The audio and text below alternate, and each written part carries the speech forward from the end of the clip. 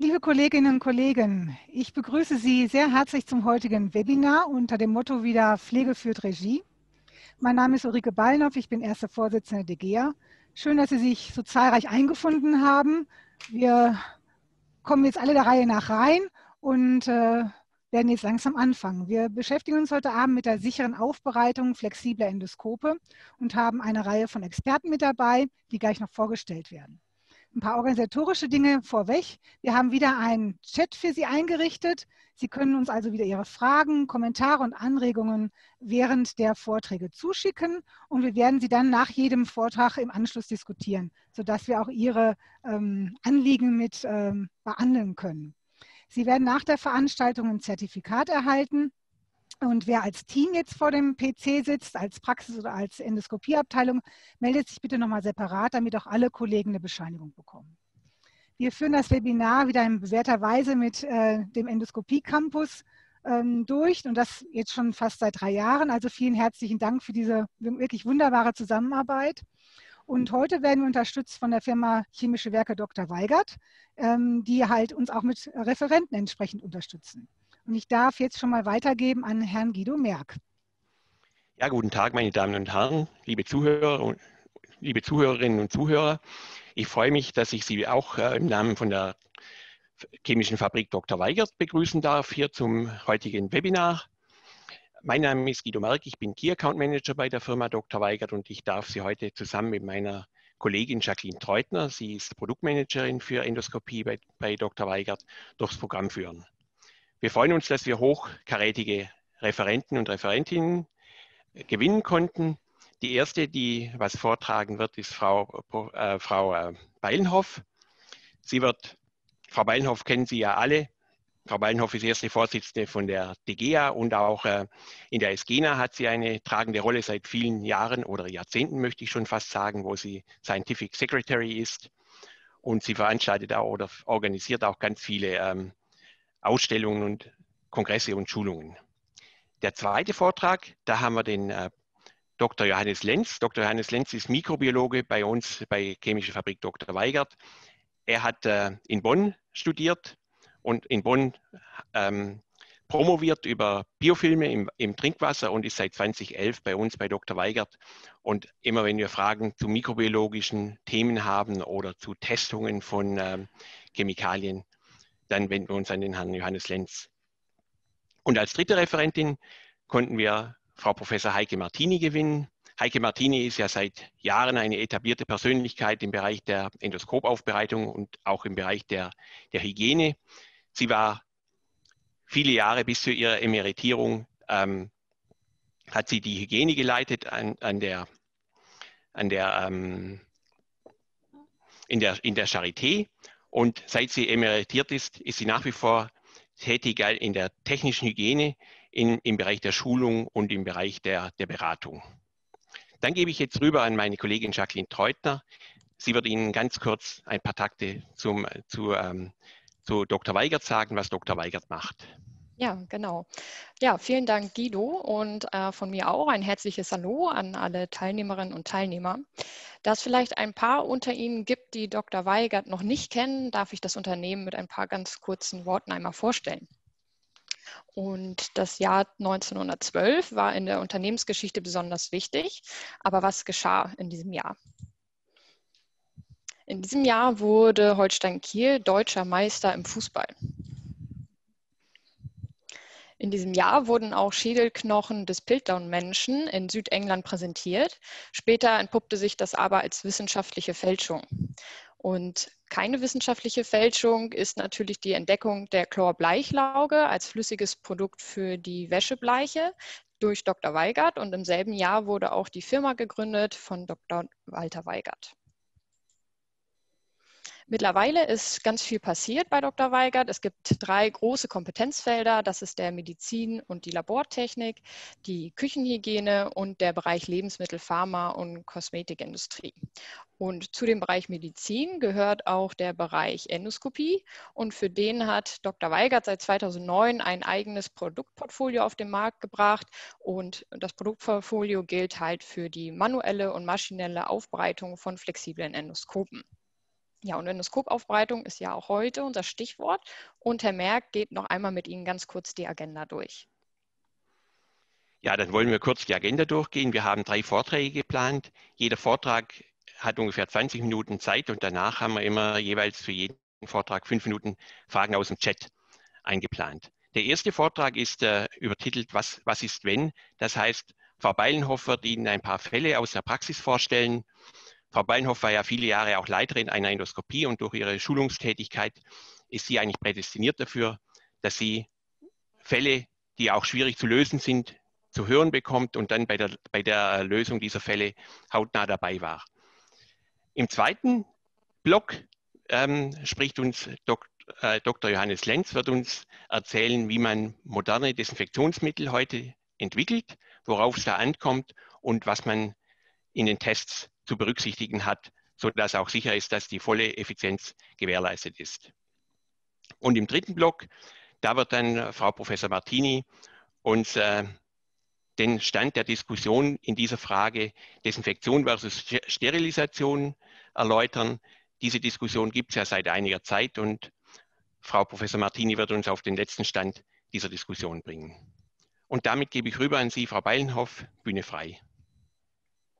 Genau, jetzt teile ich noch eben meinen Bildschirm mit Ihnen.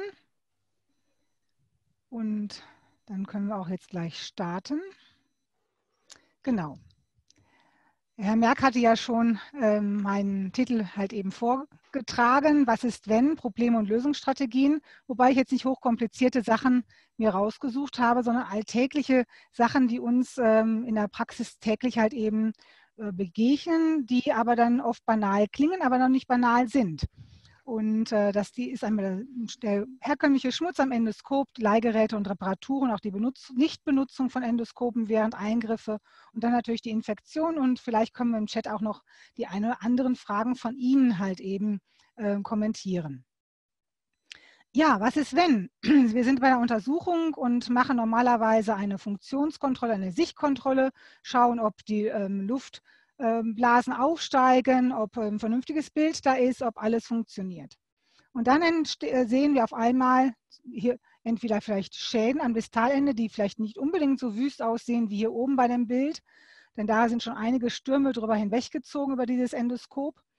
Aber vielleicht sehen wir auch den Einz äh, und am Distalende einzelne Verschmutzungen. Das ist ein Bild aus einer Veröffentlichung, wo der Autor gesagt hat, es ist ein, ein sauberes Endoskop. Und wenn man das ganze Bild mal vergrößert, sehen Sie, dass hier unten an der äh, Decklinse halt eben ein bräunlicher Schleier da ist, sodass man das Gerät eigentlich nicht als ähm, sauber bezeichnen kann. Was machen wir jetzt?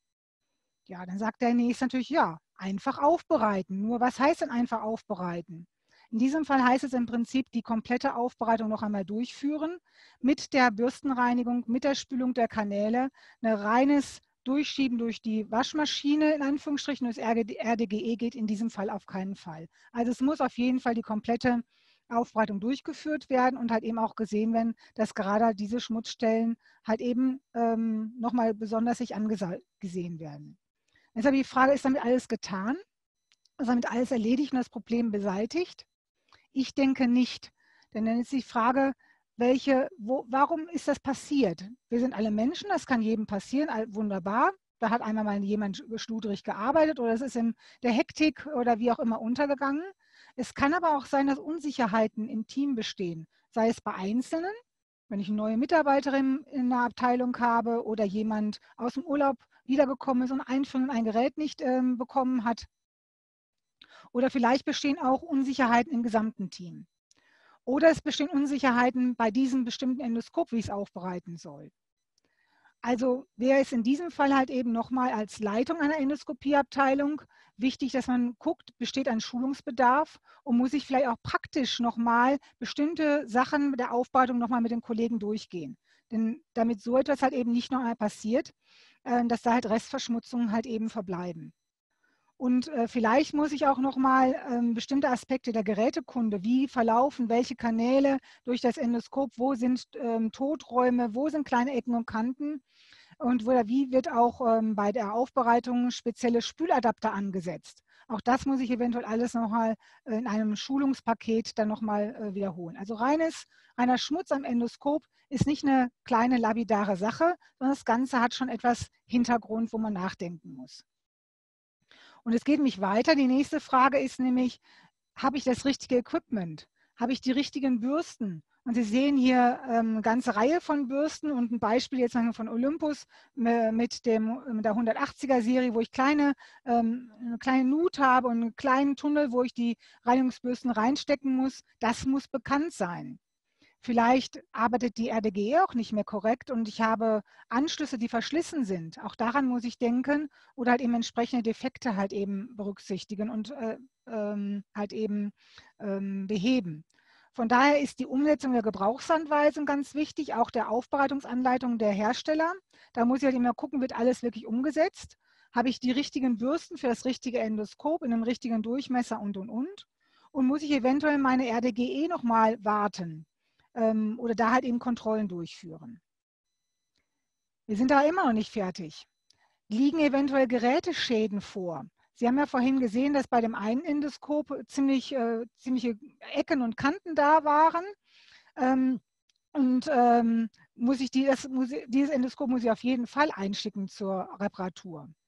Ähm, und äh, Sie sehen halt eben hier nochmal das, das eingeblendete Endoskop. Wenn ich halt eben hier so Ecken und Kanten habe, dann sehe ich die auch vielleicht mit bloßem Auge. Vielleicht muss ich aber auch die Lupe verwenden. Und eine solche Arbeitsplatzlupe, die auch eine, ähm, eine Beleuchtung innen haben sollte, dass Sie wirklich auch einen gut ausgeleuchteten Arbeitsplatz haben. Ähm, wenn Sie ein Endoskop darunter halten, äh, sollte heutzutage in jeder Endoskopieabteilung vorhanden sein.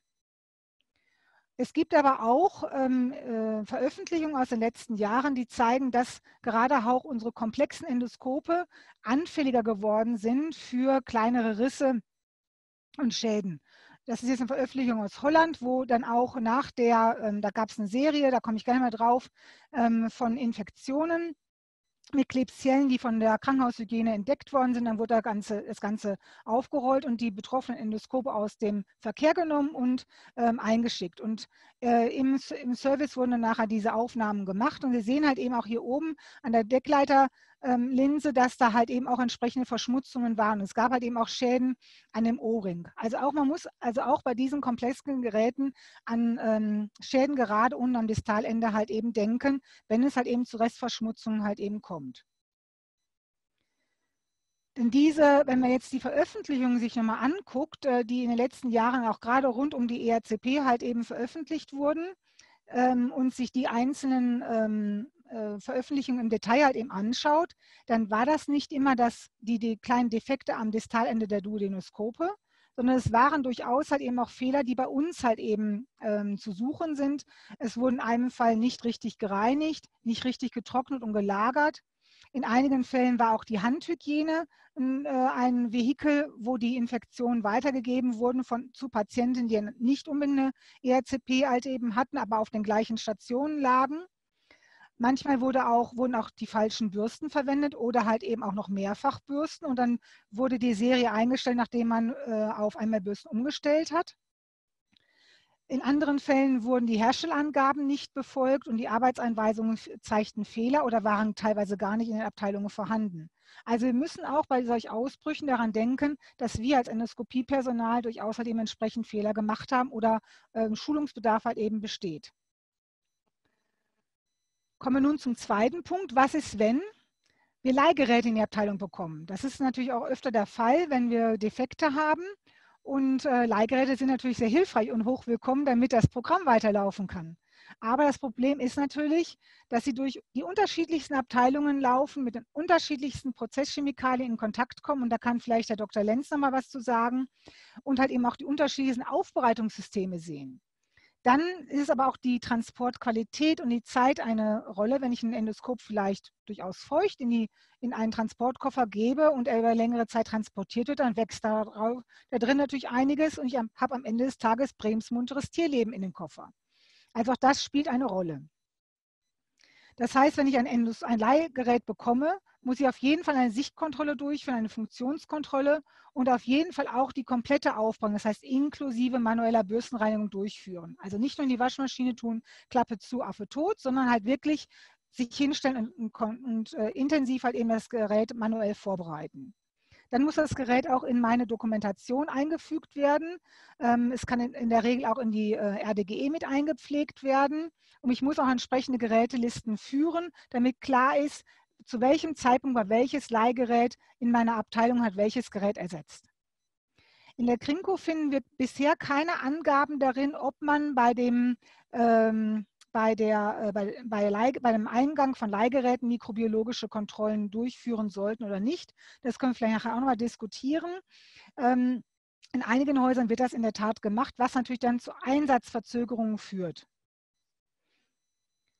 Wenn ich dagegen jetzt die reparierten Endoskope zurückbekomme, dann sollte ich als ähm, Leitung natürlich auch klären, welcher Schaden lag vor, wurde er denn dann auch repariert und wie wurde er repariert.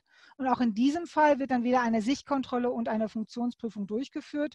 Und auch dann sollte die komplette Aufbereitung durchgeführt werden, weil das Endoskop halt eben auch bei der, äh, bei der Reparatur entsprechend halt eben auch kontaminiert werden kann. Es sind vielleicht auch noch Restverschmutzungen dran, auch die müssen entfernt werden. Dann wird das Endoskop wieder zurückdokumentiert in das System, dass es klar ist, es ist wieder verfügbar und es ist in der RDGE und äh, im Trockenschrank halt eben auch entsprechend gelistet. Hier finden sich jetzt bei, in der Krinko tatsächlich auch ein kurzer Hinweis in einem einzigen Satz, dass man mikrobiologische Kontrollen nach Reparaturen durchführen soll. Das wird aber nicht weiter äh, differenziert und auch hier müssen wir vielleicht in Zukunft das nochmal detaillierter darstellen. Kommen wir noch zu einem nächsten Beispiel, nämlich ähm, der Nichtnutzung von Endoskopen. Wir haben oft eine Reihe von Patienten, die Mehrfachuntersuchungen bekommen. Kombination Gastro-Kolo oder Gastro-EOS, ähm, ERCP. Da sind äh, mehrere Sachen halt eben, äh, die dann ähm, auch durchgeführt werden. Und dann werden mehrere Geräte oft auf Halde gelegt. Dann ist die Frage, was mache ich mit den Geräten, wenn ich ein Endoskop schon so angeschlossen habe? ist es ein Unterschied, als wenn ich es geschützt im Raum abgedeckt in der Wanne liegen lassen lasse. Wenn das halt eben abgedeckt geblieben ist, kann ich es natürlich dann ähm, auch dann ähm, muss ich es nicht unbedingt wieder aufbereiten. Wenn ich es aber am Turm angeschlossen habe oder es offen habe, äh, irgendwo gelagert, dann sollte ich auf jeden Fall auch eine erneute Aufbereitung durchführen. Kommen wir nun zu den Endoskopen und wir machen mal eine kleine Märchenstunde. Es war einmal tatsächlich bei uns in der Abteilung, allerdings schon vor vielen, vielen Jahren, kam mein damaliger Chef zu mir und sagte, Ulrike, wir haben ein Problem. Wir haben zu viele Infektionen nach der ERCP. Und Sie können sich vorstellen, dass ich da sehr geschockt war, ähm, meine Kollegin und ich. Und dann war natürlich schnell die Frage, welche Patienten sind denn betroffen? Welche Endoskope sind betroffen? Welche RDGE? Welche Keime wurden denn nachgewiesen bei diesen Patienten, wenn er mir sagt, wir haben verstärkt Infektionen? Gibt es da irgendwelche Zusammenhänge? Äh, ist, äh, sei es an Tagen, an Uhrzeiten, untersucherbedingt, gibt es irgendetwas, wo ich eine äh, gewisse Gesetzmäßigkeit feststellen kann? Es kann ja sein, dass es nur bei ein oder zwei Endoskopen auftritt, dann ist das vielleicht ein Indiz, dass diese ein, ein oder zwei Endoskope vielleicht einen Defekt haben. Also ich muss wirklich Sherlock Holmes spielen und dann halt eben auf die Suche gehen. Und in diesem Fall war es jetzt so, dass, wir, dass immer nur die Patienten, die morgens ähm, als erstes in der äh, Endoskopie auf der Liste standen, waren froh, dass als erstes dran kam, aber im Grunde genommen kam es ihnen zu Schaden, nämlich sie bekamen nachher ähm, in der Regel eine Infektion. Und es war noch ein anderer Nachweis, der sich nachher bei mikrobiologischen Kontrollen zeigte. Es wurden Pseudomonaden in Endudenoskopen festgestellt und auch im Leitungswasser. Und das war damals noch Anno Tubak in der Zeit, wo wir noch manuell aufbereitet haben. Sie können sich vorstellen, was das halt eben bedeutet hat. Der Grund war nämlich, dass wir neben dem Wasserproblem auch ein Trocknungsproblem hatten. Denn offensichtlich hatten wir über Nacht oder den, den Abend vorher nicht genug getrocknet, sodass dann Feuchtigkeit im Endoskop war. Und über Nacht haben die sich wunderbar vermehrt. Und beim ersten Patienten morgens war die Keimlast so enorm, dass diese Patienten dann auf jeden Fall eine Infektion bekamen. Die, die am Tag dann ERCP 3, 4, 5 waren, da war die Keimlast noch nicht so hoch. Also der erste Patient hatte im Prinzip ein Problem. Dieses Phänomen zeigt sich aber auch in aktuellen ähm, äh, Infektionen, wie jetzt hier aus, der, aus einer Infektion mit Klebsiellenpneumonia in äh, Frankreich, wo es halt eben auch ein Trocknungs-, Reinigungs- und Trocknungsproblem halt eben gab, Nebengeräteschäden. Ich hatte Ihnen vorhin schon das Bild gezeigt hier von, den, ähm, von, der, von dem Ausbruch hier aus Rotterdam. Und da war es so, dass nicht die Endoskopie ähm, gemerkt hat, dass da was passierte, dass da was im Busche war, sondern die Krankenhaushygiene ist darauf aufmerksam geworden hat gedacht, hier gibt es zu viele Infektionen, ist auf die Suche gegangen und ist dann bei der Endoskopie fündig geworden. Und da war es halt eben so, Sie müssen jetzt gar nicht die Sachen im Detail sehen, aber Sie sehen, dass die Kurve hier nach oben geht und hier auf einmal abfällt. Da fing es so langsam an und hier ging es nach oben und dann war relativ schnell klar, auch die haben Sherlock Holmes gespielt und gedacht, welche Patienten sind betroffen, welche Endoskope sind betroffen. Und sie haben zwei Indikator-Endoskope gefunden, die tatsächlich auch diesen Keim nachgewiesen hatten, nämlich hier rund um den Albaran-Hebel. Nachdem diese Endoskope aus dem Verkehr gezogen worden sind, war alles in Ordnung. Und die Endoskope wurden nachher repariert. Ja, also auch daher ist die Kommunikation mit der Krankenhaushygiene ganz, ganz essentiell. Was mache ich in so einem Fall, wenn, ich, wenn mich jemand konfrontiert und sagt, ich, wir haben verstärkt Infektionen in der Abteilung? Dann werden auf jeden Fall mikrobiologische Kontrollen abgenommen und das halt eben nicht nur vom Endoskop, sondern halt eben auch äh, das letzte Spülwasser von der Waschmaschine. Es können auch mit Prüfkörpern gearbeitet werden und das Leitungswasser wird überprüft.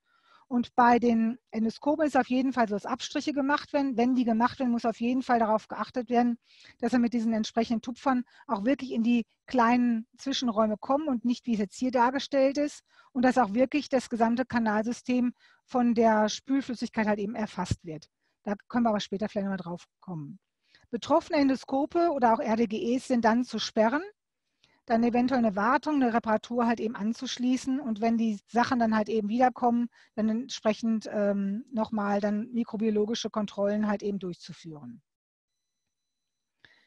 Was ist, wenn die Geräte, wenn ich eine, äh, eine RDGE habe, die ausfällt? Dann ist natürlich die Frage, war das mein einzige RDGE, dann stehe ich ziemlich im Regen. Oder haben wir eventuell haben andere RDGEs, die das Ganze auffangen können. Dann würde ich die eine RDGE sperren, die anderen kann ich noch weiter benutzen. Wenn ich jetzt wirklich gar keiner habe, bleibt es mir im Prinzip nur dabei, manuell aufzubereiten. Sie wissen alle selbst, wie viel Aufwand das ist. Oft äh, sind gar nicht so viele Wannensysteme vorhanden. Auch der Raum in der Aufbereitung ist oft sehr eng und die manuelle Aufbereitung ist schon sehr aufwendig und sehr, sehr zeitintensiv. Wenn man nicht vernünftig arbeitet und auch in engen Räumen arbeitet, besteht eine hohe Gefahr halt eben auch der Rekontamination. Also das ist mit Vorsicht zu genießen. Ich kann natürlich andere RDGEs nutzen. Vielleicht habe ich den Luxus in einer größeren Klinik, dass andere Abteilungen auch RDGEs haben, vielleicht die ZSVA. Dann kann ich dahin gehen. Habe ich das aber nicht, muss ich vielleicht in andere Kliniken ausweichen. Und dann ist die Frage der Logistik. Wie bringe ich die Endoskope dahin? Wie werden die hierhin transportiert? Ich kann ja nicht meine Liste abarbeiten und dann am Ende des Tages mit einem Türmchen voll Endoskopen dahin gehen. Das heißt, externe Lösungen ähm, brauchen auf jeden, wenn ich externe Lösungen habe, muss ich auf jeden Fall vorher die komplette manuelle Vorreinigung halt eben durchführen.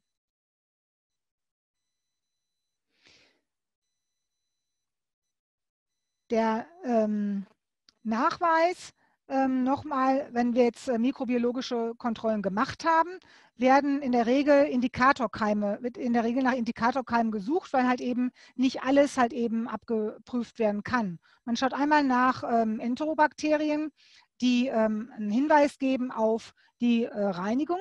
Wenn ich diese halt eben finde, habe ich irgendwas, ein Problem mit der Reinigung und der Desinfektion. Finde ich Wasserkeime oder auch Nonfermente, habe ich ein Problem mit Spülungen, mit Wasser, mit der Trocknung.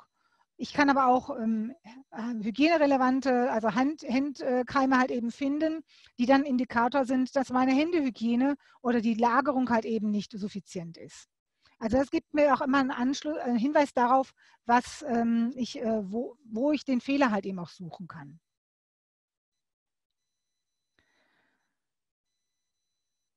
Insgesamt, wenn Infektionen halt eben auftauchen, ist das jetzt nicht nur das komplett das Problem halt eben von diesem einen Endoskop, sondern ich muss dann, gerade auch wenn Serien auftreten, meine gesamte Organisationsstruktur und auch meine gesamte Hygieneorganisation darlegen und auch beweisen, wie gut ich ihnen ansonsten arbeite.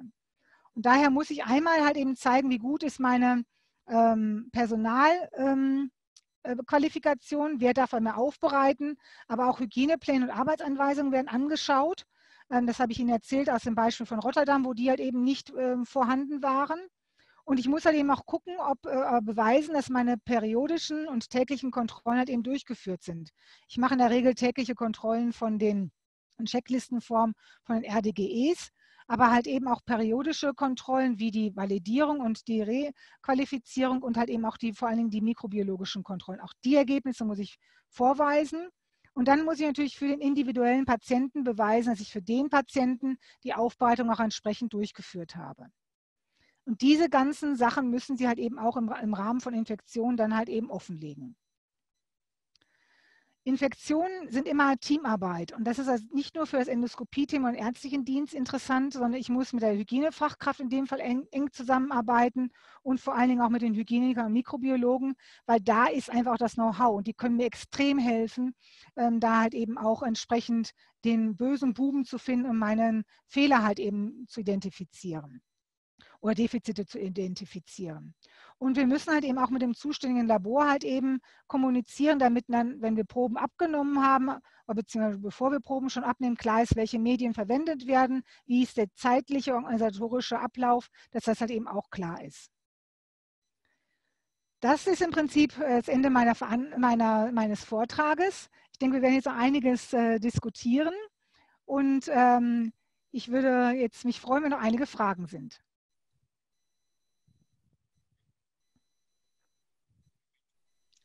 Ja, vielen Dank, Frau Beilenhoff, für den Vortrag. Ähm, wir haben einige Fragen reinbekommen. Ähm, die eine ist, gibt es eine Sherlock Holmes Checkliste?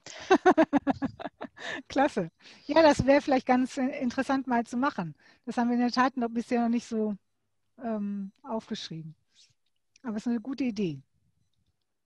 Aber ich glaube, Sie hatten auf Ihrer Folie ja dieses Nachweis von und ähm, Ursache. Ich glaube, das kommt ja aus der Krinko. Ich glaube, da genau. gibt es ja so eine Art, ähm, ja, Sherlock Holmes-Liste ist ja da schon ja. vorhanden. Ne? Mhm, genau. Der Hinweis ist auf jeden Fall schon vorhanden. Das ist nicht mein eigen, äh, das ist aus der, aus der Richtlinie. Genau, dann haben wir noch die Frage, haben Sie eine Empfehlung für einmal Reinigungsbürsten für den Zusatzspülkanal? Der ist in, der, in, der, ähm, in den meisten Endoskopen gar nicht spülbar, sondern sie haben halt eben einen Ansatz, der mit, äh, mit dem Endoskop bei der, äh, bei der Lieferung halt eben mitgeliefert wurde, beziehungsweise man vom Hersteller halt eben auch bekommen kann, sodass man da halt eben auch entsprechende Spüladapter bzw. Anschlüsse halt eben einsetzen kann. Den kriegen Sie nicht nur mit einer Spritze äh, angespült, weil oft halt eben auch ein Rückschlagventil drin ist, dass Sie mit dem Anschluss halt eben öffnen und dann halt eben durchspülen können. Mhm. So, was haben wir noch? Ähm, Dann war noch eine Frage. Wie oft sollte man die Absaugschläuche tauschen? Da war ja kürzlich in, in Hygienemanagement ein Hinweis drin, man soll sie nach jedem Patienten tauschen, weil es Rückschläge gibt. Und die Krinko sagt arbeitstäglich. Was denken Sie, was da die richtige Lösung ist? Da muss ich sicherlich, also da, das können vielleicht auch nochmal die Mikrobiologen kommentieren. Ähm, äh, wenn ich infektiöse Patienten habe, ist klar, dann äh, beziehungsweise es sehr verschmutzt ist, äh, dann ist es ja. Frau äh, Heike Martini macht schon so, ist klar, dass ich, dass ich äh, dass es wechseln muss. Und dann wird in der Regel von der arbeitstäglichen Routine wird ganz viel gewechselt. Die Frage ist halt, was ich mache ich zwischendurch. Und das ist in, der, ist in der Tat nicht geklärt. Das ist ein Feld, was bisher noch nicht bearbeitet wurde. Heike, vielleicht willst du das mal kommentieren.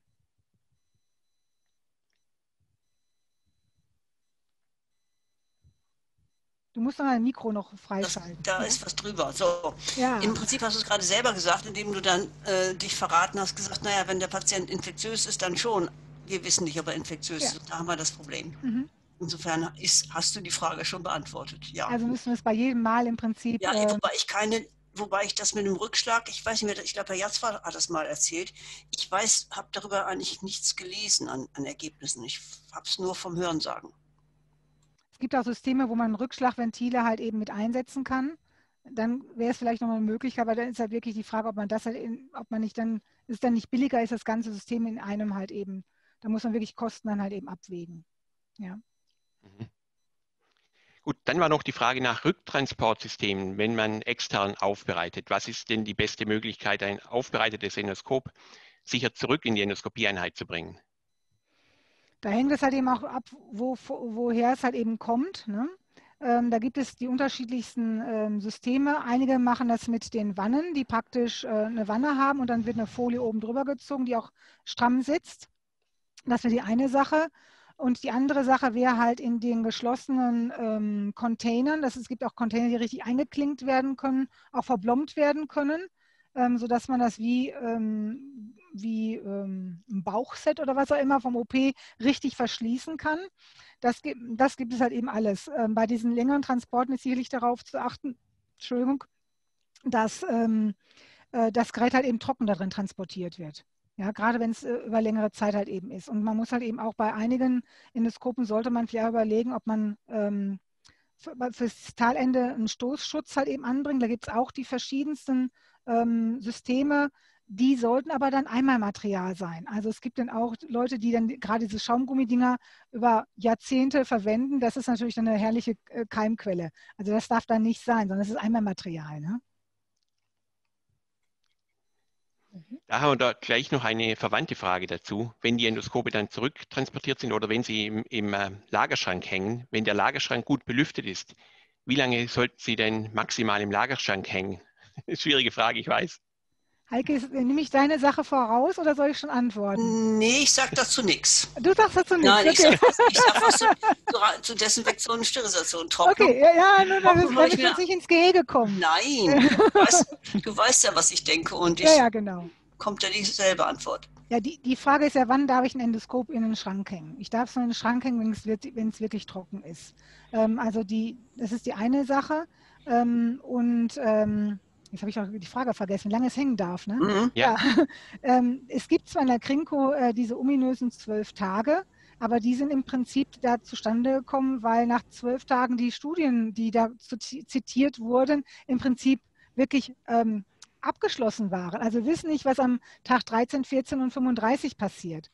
Also von daher hängt es im Prinzip ab von der von der Qualität ihrer Aufbereitung, speziell vom letzten äh, Spülwasser, wie gut ist das gewesen, von ihrer Trocknung und halt eben auch, ob der Schrank dann wirklich zu ist. Wenn sie einen Schrank einer, ähm, über einen Tag immer die ganze Zeit offen lassen wie ein Regal, dann bringt das nichts, auch wenn das Endoskop da drin hängt. Also von der Qualität der Lagerung ähm, und äh, von diesen, ähm, habe ich es einfach vergessen, ich weiß es gar nicht, ich denke nicht, ähm, von diesen Faktoren hängt im Prinzip auch die Länge der, der Lagerung halt eben ab. Und, und wie ich halt eben an, die Hände, an das Endoskop rangehe. Wenn ich an den Schrank halt eben gehe und sage, welches nehmen wir denn da mal und gehe mit kontaminierten Händen in diesen Schrank rein, dann reduziere ich die Lagerzeit natürlich drastisch. Ne? Also man kann das gar nicht so ähm, auf Tage und Stunden fixieren. Das sind vielleicht Hilfsmittel, aber das hängt wirklich von ihrer individuellen Lagerungsqualität ab. Mhm. Das gerne, darf ich das ganz einfach ergänzen? Ja. Wenn ein Endoskop validiert aufbereitet ist, also in Ordnung ist, dann kann man es nur durch schlechte Handhabung kontaminieren, weil sonst kann nichts passieren. Das heißt, diese das ist mit den 14 Tagen, die fangen ja nicht an, nach 14 Tagen zu wachsen, die, die, die Jungs da drin, sondern die wachsen am nächsten Tag. Und die würden höchstens vielleicht irgendwann aufhören zu wachsen, weil sie nichts mehr haben, von dem sie sich ernähren können. Also das hat, diese 14 Tage haben nichts damit zu tun, dass das Endoskop von innen verkeimt. Außen natürlich, wenn ich die Hände nicht desinfiziere mhm. oder immer wieder ranfasse. Das hast du richtig so gesagt, ja. Und das war tatsächlich bei uns in der Abteilung öfter der Fall, dass wir, wenn wir Abstriche gemacht haben, da halt eben dann keine Kolis gefunden haben, sondern mhm. Mhm. ja. Es geht auch nochmal um den Ausfall eines RDGEs. Welche Transportzeit zu einer anderen Klinik würden Sie akzeptieren, wenn vor Transport eine sachgerechte Vorreinigung und manuelle Reinigung stattgefunden hat? Auch dazu gibt es momentan keine Daten. Es gibt eine Arbeitsgruppe an der äh, Uniklinik in Heidelberg, die sich mit dem Thema beschäftigt. Da habe ich momentan aber keine abschließende ähm, Veröffentlichung von gesehen. Ähm, äh, was auf jeden Fall wichtig ist, wenn dieser Fall ist, dass ich nach extern transportieren muss, weil ich in meiner eigenen Abteilung nicht aufbereiten kann, dass ich nicht halt eben dann aufhöre, ähm, äh, Endoskopie zu Ende, durchsaugen. Da muss ich wirklich intensiv durchsaugen, mindestens 200, 250 Meter, also auch bei kleineren Endoskopen. Und ähm, dann halt wirklich die manuelle Bürstenreinigung direkt anschließen. Also ich kann nicht dann stoppen und dann direkt äh, transportieren, sondern ich muss wirklich die manuelle Bürstenreinigung erst noch gemacht haben und dann äh, kann ich es weiter transportieren. Aber ich weiß nicht, was die Mikrobiologen dazu sagen. Schweigenwalde. Noch, noch nicht nachgedacht, aber ich ja. spontan äh, würde ich sagen, hätte ich gesagt, absaugen und am Patienten richtig reinigen reicht eigentlich, weil äh, ich glaube das, glaub das nicht, denn gerade auch bei, bei nach ERCPs, was du da hinterm Albaran-Hebel teilweise an, an Steinresten und ähnliches okay. rausholst, das, ja. Also, also da, darf da, nicht trocknen. Ja, also von okay. daher, die dann, manuelle Bürstenung muss sein. Okay, und dann kann ich, ich dann kann ich äh, ähm, äh, transportieren. Aber das ist wichtig. Ja. Was ich ja. in solchem Fall machen würde, wär, um auf, in meiner Situation sicher zu sein, wäre, dass ich dann in so einer Situation auf jeden Fall mal Tests mache. Also Mikrobiolo die Mikrobiologie bitte halt eben, komm, lass uns jetzt Endoskop mal testen, damit wir zeigen können, dass das System funktioniert, wie wir es jetzt gerade als Ausfallsprinzip machen. Mhm. Weil Daten gibt es momentan dazu keine. Ja, eben. Das mhm. ist das Problem. Ja? Dann kam gerade noch eine Frage rein, nochmal zum Thema Trockenschrank und Trocknung. Wie lange musste die Trocknung erfolgen? Da der Kollege schreibt, die Niederländer trocknen bis zu drei Stunden. Wie lange, wie sollte man denn, mhm. wie lange sollte man denn trocknen, um sicher zu sein, dass das, was Frau Martini gesagt hat, dass keine Rekontamination mehr passieren kann? Ja, das ist das Problem. Sie können in, in den schwarzen Schlauch nicht reingucken. Ja, und das hängt wirklich auch von Ihrer Art der Trocknung ab. Habe ich jetzt äh, kraftschlüssige Verbindungen, die ich anschließe und dann über eine Krake, also über diese normalen Endoskopanschlüsse richtig ähm, eine Verbindung stattfindet und ich richtig trocknen kann. Oder setze ich einfach nur die Luftdruckpistole einfach nur oben drauf und blase da irgendwie rein. Oder benutze ich tatsächlich einen Trockenschrank, der über eine längere Zeit kontinuierlichen Flow aufbaut. Das ist äh, wirklich halt eben schwer zu sagen. Ähm, es gibt dieses ähm, aber kannst du vielleicht was zu sagen in der, ähm, in der 15883 Methoden, um die Trocknung zu, zu testen? Ja, ja, es gibt, gibt dort dieses, dieses, die Trocknung äh, auf, durch, mit Durchblasen auf Kupfersulfatpapier, dass da, dass da keine Tropfen rauskommen, beziehungsweise und, natürlich mit, mit vernünftiger Luft. Wobei, äh, ich sag's einfach nochmal, wenn ein Endoskop so aufbereitet ist, wie wir das in der Krinko beschrieben haben, nämlich wie es sein soll, dann ist dort nichts drin, wenn ich richtig gereinigt habe. Wenn ich nicht richtig gereinigt habe, brauche ich auch nicht zu trocknen. Dann kriege ich das auch nicht weg. Und die, die, die Franzosen, die ja den Trockenschrank im Prinzip äh, in Europa uns, äh, wie soll ich das sagen, äh, verbrochen haben, mal ganz direkt, haben selber nachgewiesen, dass, dass die Endoskope, die im Trockenschrank gewesen sind und die Endoskope, die nicht im Trockenschrank gewesen sind, genauso häufig kontaminiert sind wie, wie vorher. Also das hat keine Auswirkung. Die, Auf, die Aufbereitung ist es. Und der Trockenschrank ist dafür da, den Endoskopzustand, so steht es auch in der Norm, den Zustand des Endoskopes nach der Aufbereitung zu erhalten, aber nicht zu verbessern das, dafür ist er nicht ausgelegt. Also man kann sich um eine anständige Aufbereitung nicht rumdrücken, wenn ich das Ding hinterher angeblich trockne. Das ist ziemlich schwierig. Also ich bin da völlig, ich bin, wenn es nicht unten raustropft und dann hängen natürlich die Bakterien dran und können reinwachsen. Das ist richtig, darf nicht mehr tropfen. Aber innen Knochen trocken muss das nicht sein. Also viele RWGEs schaffen die Trocknung nicht. Einige nee, haben die auch gar nicht. Blasen, ja. Ich muss auf jeden Fall dann manuell trocknen, trocken blasen. Und dann ist halt die Frage, genau. wie mache ich das? Einfach mit der Druckluftpistole? Ja, kann ich machen. Oder? Aber mit, hm? ja? aber mit medizinischer Druckluft und, und vernünftige, vernünftige mikrobiologische Qualität. Mhm.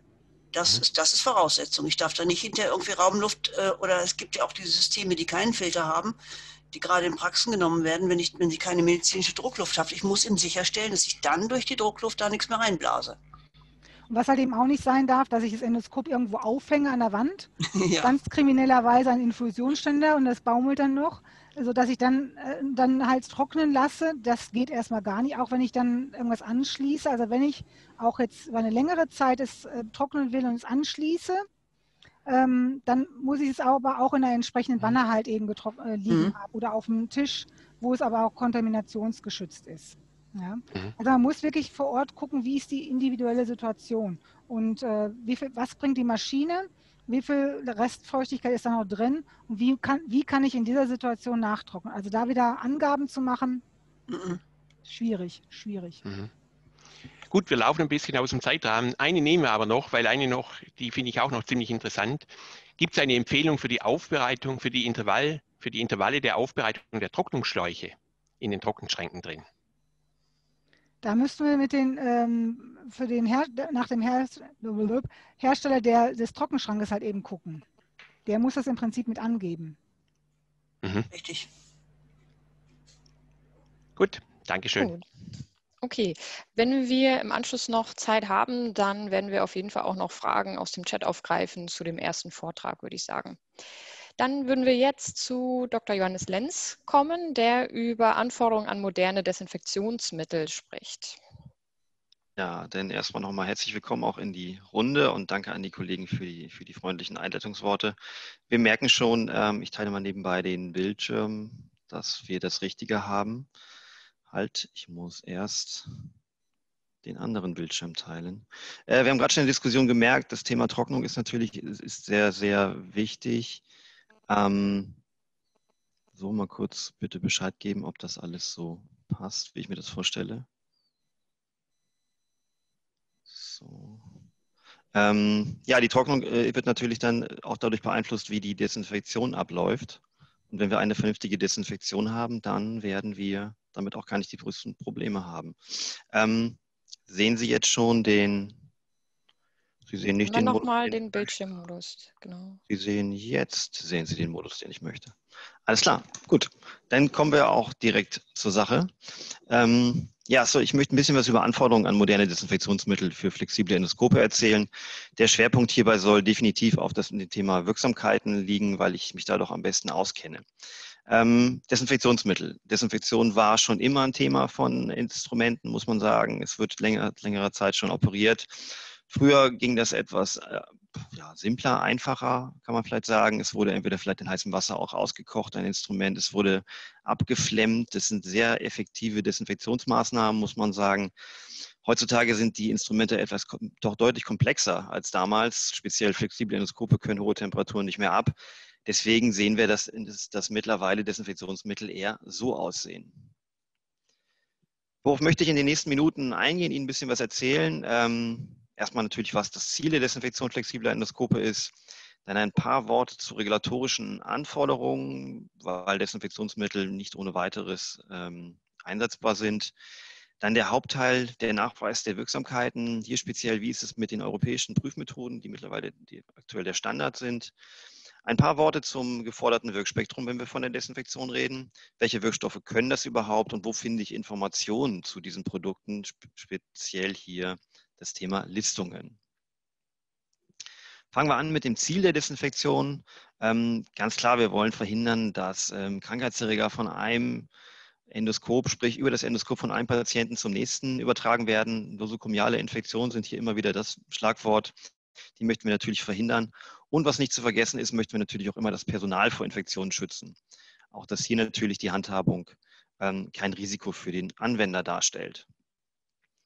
Damit wir das Risiko kennen, müssen wir natürlich auch ein bisschen wissen, was für Erreger finden wir eventuell auf Endoskopen, welche Infektionserreger können auf bestimmten Endoskoptypen verstärkt vorkommen, welche wären ein, ein, ein Anzeichen dafür, dass vielleicht eine, eine Aufbereitung nicht richtig funktioniert hat. Ähm, wir sehen die unterschiedlichen Endoskoptypen hier. Bei Koloskopen zum Beispiel ganz klar sehen wir hier mögliche Darmkeime. Escherichia coli, Clostridium difficile ist auch immer wieder mal ein Schlagwort was man hört. Ähm, aber auch Viren können wir dort auf diesen Koloskopen finden. Ähm, wenn wir uns Bronchoskope angucken, sehen wir ähm, Tuberkuloseerreger, sprich Mykobakterien in Gastroskopen, Helicobacter pylori zum Beispiel oder auch Hepatitiserreger, sprich behüllte Viren. Sie sehen schon, es ist eine unterschiedliche, ein, ein, ein Mischmasch aus Mikroorganismen, was uns hier begegnen kann. Und das muss natürlich auch ein Desinfektionsmittel im Endeffekt leisten können. Wenn wir uns dann nämlich angucken, was ähm, im Prinzip ein Desinfektionsmittel leisten muss, und dessen, dann sehen, sind wir bei den, bei den Anforderungen, bei den Prüfungen. Desinfektionsmittel für flexible Endoskope, sprich für die Aufbereitung oder die, die Desinfektion von Medizinprodukten, sind selbst auch Medizinprodukte. Das heißt, nach der Medizinprodukteverordnung werden hier hohe Anforderungen gestellt und es müssen Nachweise erbracht werden. Äh, die Grundlage sind, damit überhaupt so ein Desinfektionsmittel als Medizinprodukt zugelassen wird und somit einsetzbar ist. Ein wichtiger Punkt ist natürlich, ist natürlich die Wirksamkeit. Ganz klar, bei der Desinfektion wollen wir die Desinfektionswirkung natürlich nachgewiesen haben. Aber es ist, ist nicht der einzige Punkt. Ähm, andere Themen wie Materialverträglichkeit spielen eine große Rolle. Sie können sich, Sie wissen ja selber, ähm, wie anfällig ähm, die viele Materialien in den Endoskopen sind. Ähm, man möchte die öfter einsetzen, dadurch dürfen sie natürlich auch nicht materialschädigend sein. Das Thema Toxikologie, Umweltverträglichkeit kriegt eine immer größere Rolle, natürlich auch hier. Ähm, Lagerstabilität, für Sie als Anwender natürlich sehr wichtig, dass das Produkt auch am Ende des Verfalls oder kurz vorm Verfallsdatum noch das, das hält, was es verspricht. Ähm, und es gibt noch viele andere, äh, andere weitere Informationen oder Daten, die erhoben werden müssen, damit nachher dieses Produkt das CE-Zeichen bekommen kann, was denn der Nachweis dafür ist, dass es als Medizinprodukt zugelassen ist. Und dieses CE-Zeichen ähm, findet man generell immer auf den Etiketten. Dazu ist man als Hersteller, wie auch wir als Dr. Weigert, verpflichtet, das dort anzugeben. Zudem finden Sie es auf den Produktmerkblättern. Also wenn Sie dieses CE-Zeichen dort nicht finden, dann sollten Sie nochmal gucken, ob das Produkt überhaupt entsprechend zugelassen ist, vielleicht veraltet ist. Einfach nochmal beim Hersteller nachfragen ähm, und gucken, was dort dafür die Gründe sein könnten. Kommen wir zu meinem Schwerpunkt hier. Ich habe ja gesagt, die Wirksamkeiten, ein wichtiger Punkt, der belegt werden muss, wenn man, wenn man Desinfektionsmittel in den Markt bringt und anwenden will. Ähm, ich möchte Ihnen kurz einen Einblick geben, wie diese Wirksamkeitsprüfungen ablaufen. Also das heißt, Desinfektionsmittel werden nach standardisierten Methoden geprüft. Ähm, Standards sind im Moment die, sind heutzutage die europäischen Prüfmethoden. Das macht das Ganze einfacher für, den, für alle, muss man sagen. Und ähm, das Prinzip dieser Prüfung ist immer gleich. Wir haben ja vorhin gesehen, wir haben unterschiedliche Erregertypen, Bakterien, Viren, äh, Mykobakterien, aber das Prinzip der Prüfung läuft immer identisch ab. Das heißt, ich nehme eine Desinfektionsmittellösung, sprich mein Produkt, ähm, brauche Mikroorganismen, die entsprechenden der Art der Mikroorganismen wie Bakterien ähm, oder Mykobakterien, arbeite in der Regel mit einer Anschmutzung, ähm, die eine organische Anschmutzung simulieren soll. Hier wird in der Regel Blut benutzt, falls doch die Reinigung nicht ganz funktioniert hat und man sehen will, ob der Einfluss des Desinfektions- oder ob das Desinfektionsmittel dadurch negativ beeinflusst wird. Das alles ähm, gebe ich in ein Gefäß und gucke, ob mein Desinfektionsmittel in der Lage ist, die Anzahl der Mikroorganismen so weit zu reduzieren, dass wir von einer erfolgreichen Wirksamkeit sprechen können. Diese Reaktion lasse ich so lange laufen, wie meine empfohlene Einwirkzeit ist. Das sind in der Regel ja fünf bis zehn Minuten, sage ich mal, bei Produkten für die Schlussdesinfektion. Dann stoppe ich diese, Wirks diese Reaktion, äh, indem ich die, die Wirksamkeit aufhebe. Wir sprechen hier auch von einer Neutralisation. Und am Ende werden die überlebenden Mikroorganismen ausgezählt. Und wenn ausreichend abgetötet worden sind, inaktiviert worden sind, spricht man von einer effektiven, von einer erfolgreichen Wirksamkeit. Dieses Prinzip ist jetzt für jede Wirksamkeit gleich, egal ob ich von der Bakterizidie, von der Fungizidie, von der Virozidie spreche. Ähm, damit ich jetzt aber auch genau weiß, nach welcher Methode ich denn welche Wirksamkeit belegen muss, gibt es die europäischen Prüfmethoden. Und die sind, ähm, ja, es gibt ein mehrstufiges Verfahren. Es ist in, dieses Prüfverfahren ist in mehrere Phasen aufgeteilt, kann man sagen, die äh, durchlaufen werden müssen, um um eine Wirksamkeit ausloben zu können für uns als Hersteller, damit Sie wissen, wie die, wie, wie die Wirksamkeit wirklich ist. Es gibt drei Phasen nach dem europäischen Prüfmodell, ähm, auf die ich jetzt aber gar nicht alle eingehen möchte, weil man muss sagen, für, die, für, das, für den Wert, der nachher auf dem Produkt steht, ähm, sind nur die Prüfungen der Phase 2 relevant. Und die möchte ich Ihnen ganz kurz erläutern. Es geht los mit der Stufe 1. Das ist ein sogenannter quantitativer Suspensionsversuch, sprich kurz gesagt ein Reagenzlasttest. Hier wird unter Berücksichtigung von Anwendungsbedingungen, sprich Temperatur, Belastung, ähm, Einwirkzeit, wird hier geguckt, in, nach dem Verfahren, was ich Ihnen gerade auf der Folie vorgezeigt hatte, ob eine Wirksamkeit vorliegt. Und wenn dieser Test bestanden ist, dann geht man in den Stufe 2-Test. Das ist der sogenannte praxisnahe Keimträgertest. Dieser Suspensionsversuch spiegelt mit als, als Reagenzglasversuch natürlich nur bedingt die Realität wider und ist auch für alle Arten von Desinfektionsmitteln gleich. In diesem Keimträgertest soll jetzt diese Anwendung möglichst nah simuliert werden. Das heißt, bei einer, wenn wir von einem Instrumentendesinfektionsmittel reden, simulieren wir das Eintauchen eines Instrumentes in eine Desinfektionsmittellösung. Und hier wird äh, mit einem Glasobjektträger gearbeitet, der kontaminiert wird mit den entsprechenden Mikroorganismen. Auch hier wird dann geguckt, ob unter Anwendungsbedingungen eine Wirksamkeit vorliegt. Und wenn das auch der Fall ist, sprich beide Tests bestanden sind, dann darf ein Produkt zum Beispiel als Bakterizid ausgelobt werden. Und hierbei ist natürlich auch ganz wichtig, die Ergebnisse können natürlich unterschiedlich sein. Das heißt, hier muss natürlich in der Regel auf den, den sozusagen schlechteren Wert zurückgegriffen werden, um eine ähm, sichere Wirksamkeit auch gewährleisten zu können. Ich habe von standardisierten von Standardmethoden gesprochen. Ähm, woher weiß man jetzt, welche sind das denn? Ähm, und da gibt es eine europäische Norm, das ist die EN 14885. Diese wird ähm, alle Jahre regelmäßig überarbeitet und ähm, die gibt, man kann sagen, eine, einen Überblick über die bestehenden europäischen Methoden, die zur Wirksamkeitsprüfung verfügbar sind. Ähm, hier sind Prüfungen für verschiedene Anwendungsbereiche, wie für den, für den Bereich des Gesundheitswesens, sprich den medizinischen Bereich, der für uns heute ja relevant ist, aufgeführt. Andererseits aber auch zum Beispiel für Produkte, die für den Lebensmittelbereich sind. Und ich möchte Ihnen mal anhand des Beispiels der, des medizinischen Bereichs mal zeigen, wie sowas aussieht. Keine Sorge, wir gehen jetzt nicht auf alle Zahlen hier ein. Ähm, diese Tabellen sind im Prinzip relativ simpel zu verstehen. Auf der linken Seite sieht man die bestimmten Wirksamkeiten, die nachgewiesen werden können. Als Beispiel nehmen wir jetzt mal, dass wir das Produkt, dass wir zeigen wollen, ob das das Produkt Bakterizid ist. Und an der oberen Zeile sehen wir die verschiedenen Anwendungsmöglichkeiten. Das könnte Händedesinfektion sein, Oberflächendesinfektion. Für uns spielt die Instrumentendesinfektion jetzt die große Rolle. Und in dieser Spalte sehen wir dann alle Standardmethoden, die es gibt. Und wenn wir dann wissen wollen, welche wir für die Bakterizidee nehmen wollen, müssen wir im Prinzip gucken, wo die Schnittstellen sind und sehen auch hier, dass es auch nach, nach Phase 2, Stufe 1 und 2 aufgeteilt ist und wissen dann, ähm, die Bakterizidie muss für ein Instrumentendesinfektionsmittel nach EN 13727 und EN 14561 belegt sein. Und wie gesagt, nur wenn beide Tests bestanden sind, ist eine Auslobung als Bakterizid zulässig. Das zieht sich im Prinzip für alle Wirksamkeiten durch, wie man das hier sieht. Ähm, bei manchen sehen Sie noch Lücken. Zum Beispiel, da gibt es äh, noch keinen etablierten äh, Phase 2, Stufe 2, sprich Keimträgertest. Nur dann ist auch eine Auslobung auf Basis des Suspensionsversuchs zulässig. Ansonsten ist es nicht der Fall. Ja, wenn wir jetzt wissen, ähm, was für Mikroorganismen können uns begegnen, was für Infektionserreger, wie wird im Prinzip die Wirksamkeit belegt, dann müssen wir natürlich noch wissen, welche Wirksamkeiten brauchen wir überhaupt. Sprich, welches Wirkspektrum ist erforderlich für die Aufbereitung von flexiblen Endoskopen. Ähm, hier gibt die Krinko-B-Farm-Empfehlung auch eine Hilfestellung oder eine Empfehlung ab. Ähm, in der Anlage 8, wo es speziell um die Aufbereitung flexibler Endoskope und Zusatzinstrumentarium davon geht, ist geschrieben, dass Desinfektionsmittel nur mit nachgewiesener bakterizider, viruzider und fungizider Wirksamkeit eingesetzt werden dürfen. Man muss jetzt sagen, wenn man in den allgemeinen Teil der Krinko-B-Empfehlung guckt, werden die noch, gehen die noch etwas weiter.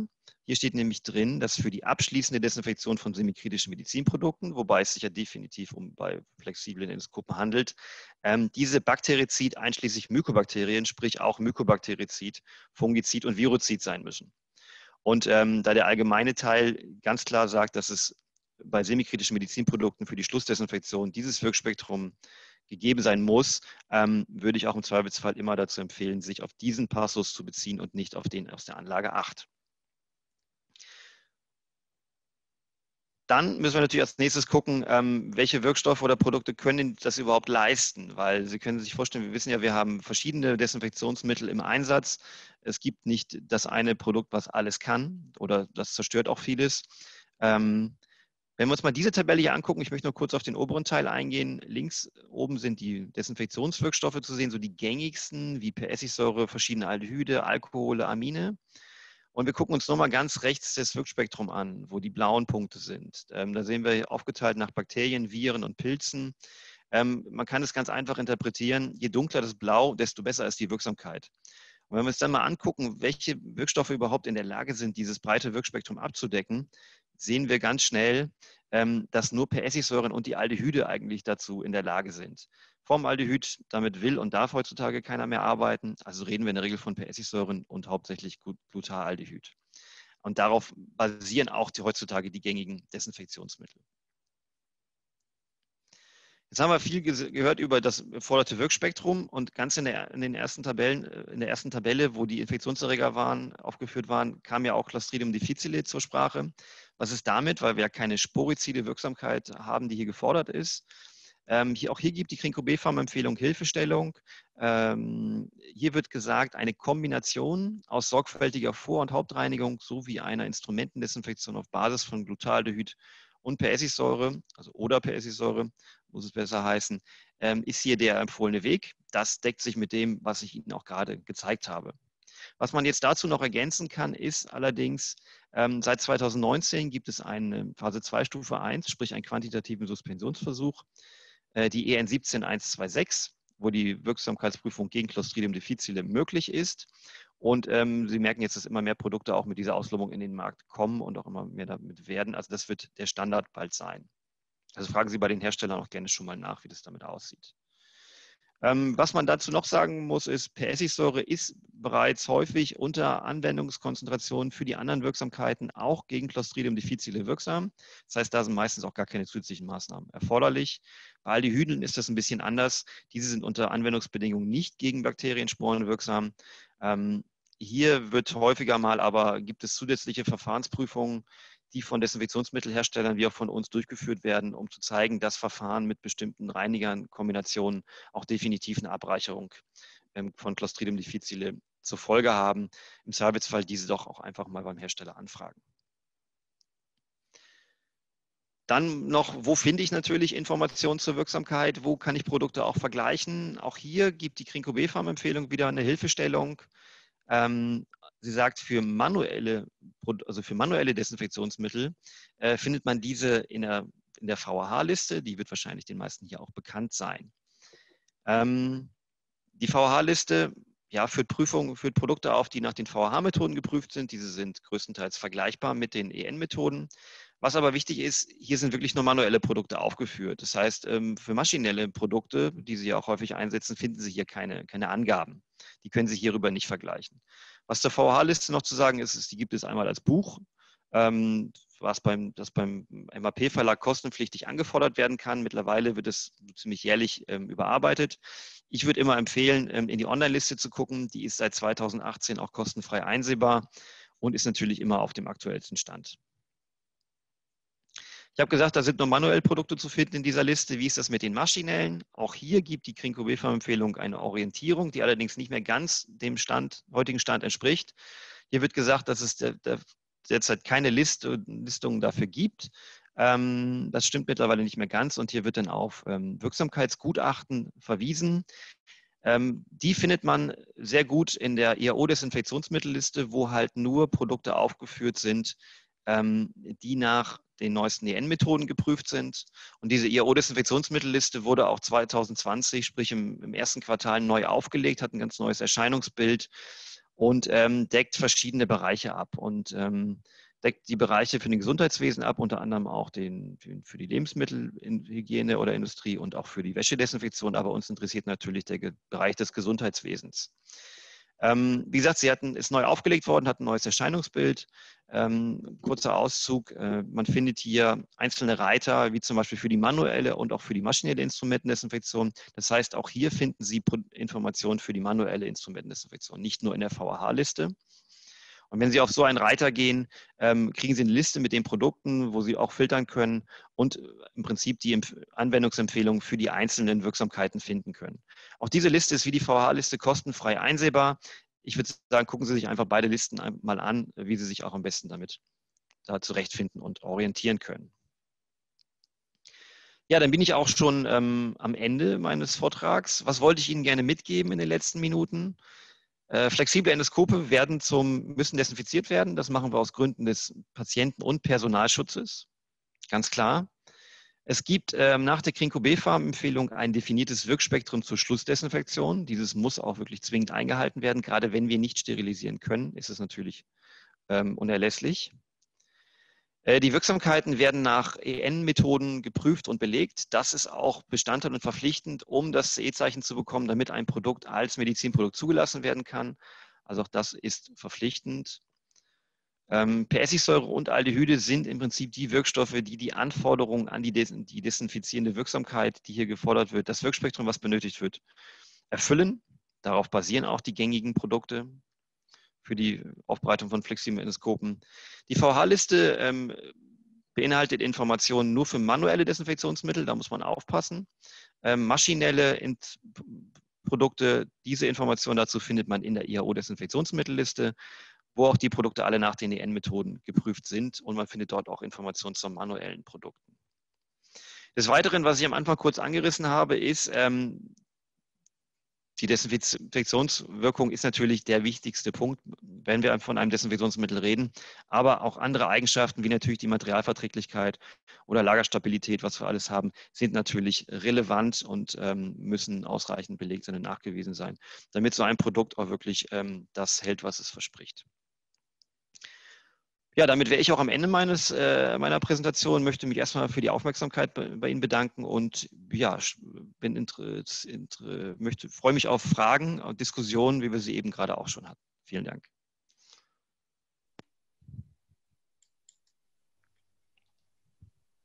Ja, vielen Dank, Johannes.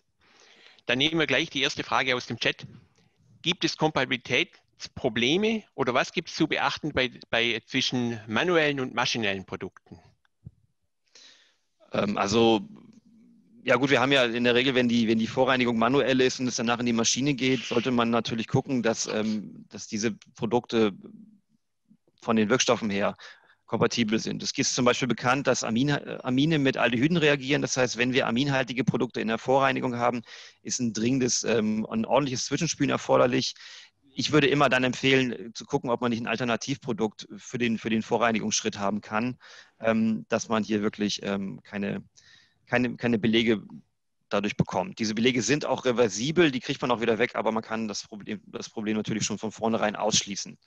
Ähm, also das ist so das, das, das Wichtigste. Ansonsten immer gucken, ob eine, beim Hersteller nachfragen, ob eine Verschleppung in die Maschine Probleme machen könnte. Ähm, manuelle Produkte schäumen manchmal mehr als maschinelle. Schaumbildung kann in der Maschine immer wieder mal zu Problemen führen. Aber in der Regel ähm, wird da natürlich auch bei der, bei der Entwicklung der Produkte darauf geachtet. Mhm. Gibt es da erfahrungsgemäß äh, Methoden, also wenn man zum Beispiel mit Wasser nachspült, dass man die, die Vorreinigungsprodukte wegbekommt oder wird erfahrungsgemäß immer auch über so einen, so einen Spülschritt hinweg was verschleppt? Also man muss davon ausgehen, dass ein gewisser Teil mit Sicherheit immer verschleppt wird. Das, sind, das, sind, das ist minimal und äh, in, der, äh, in, der, Regel wird auch überprüft, dass natürlich eine Verschleppung keinen Einfluss hat.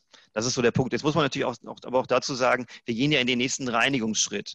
Das heißt, wir haben immer noch mal, wir haben nach der Vorreinigung erst eine, noch mal eine Reinigung in der Maschine und dann erst die Desinfektion. Das heißt, man hat dann noch mal wieder der, den Punkt, dass der, der manuelle Vorreiniger ja auch schon wieder abgespült wird und zwischen diesem Reinigungsschritt in der Maschine und dem Desinfektionsschritt, da gibt es Nachweise von den Herstellern, dass eine Verschleppung wirklich keine, keinen, keinen negativen Einfluss auf die Desinfektionsleistung hat. Weil diese Spülschritte auch immer kürzer werden, teilweise weggelassen werden in den, in den Maschinen. Das ist natürlich ganz wichtig.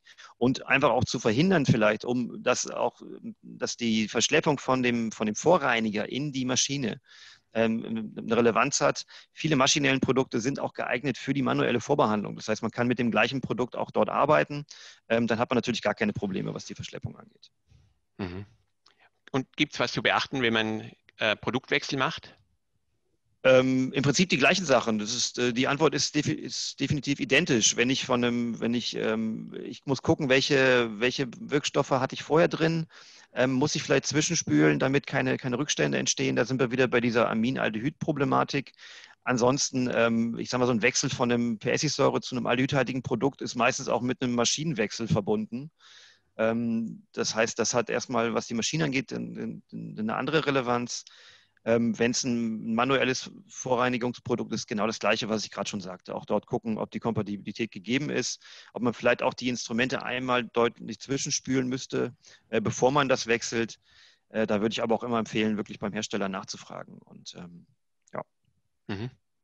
Man muss vielleicht halt eben auch einzelne ähm, Aspekte von der Validierung dann nochmal wiederholen, wenn man das Produkt gewechselt hat, ne, dass eine Requalifizierung dann praktisch stattfindet. Ne?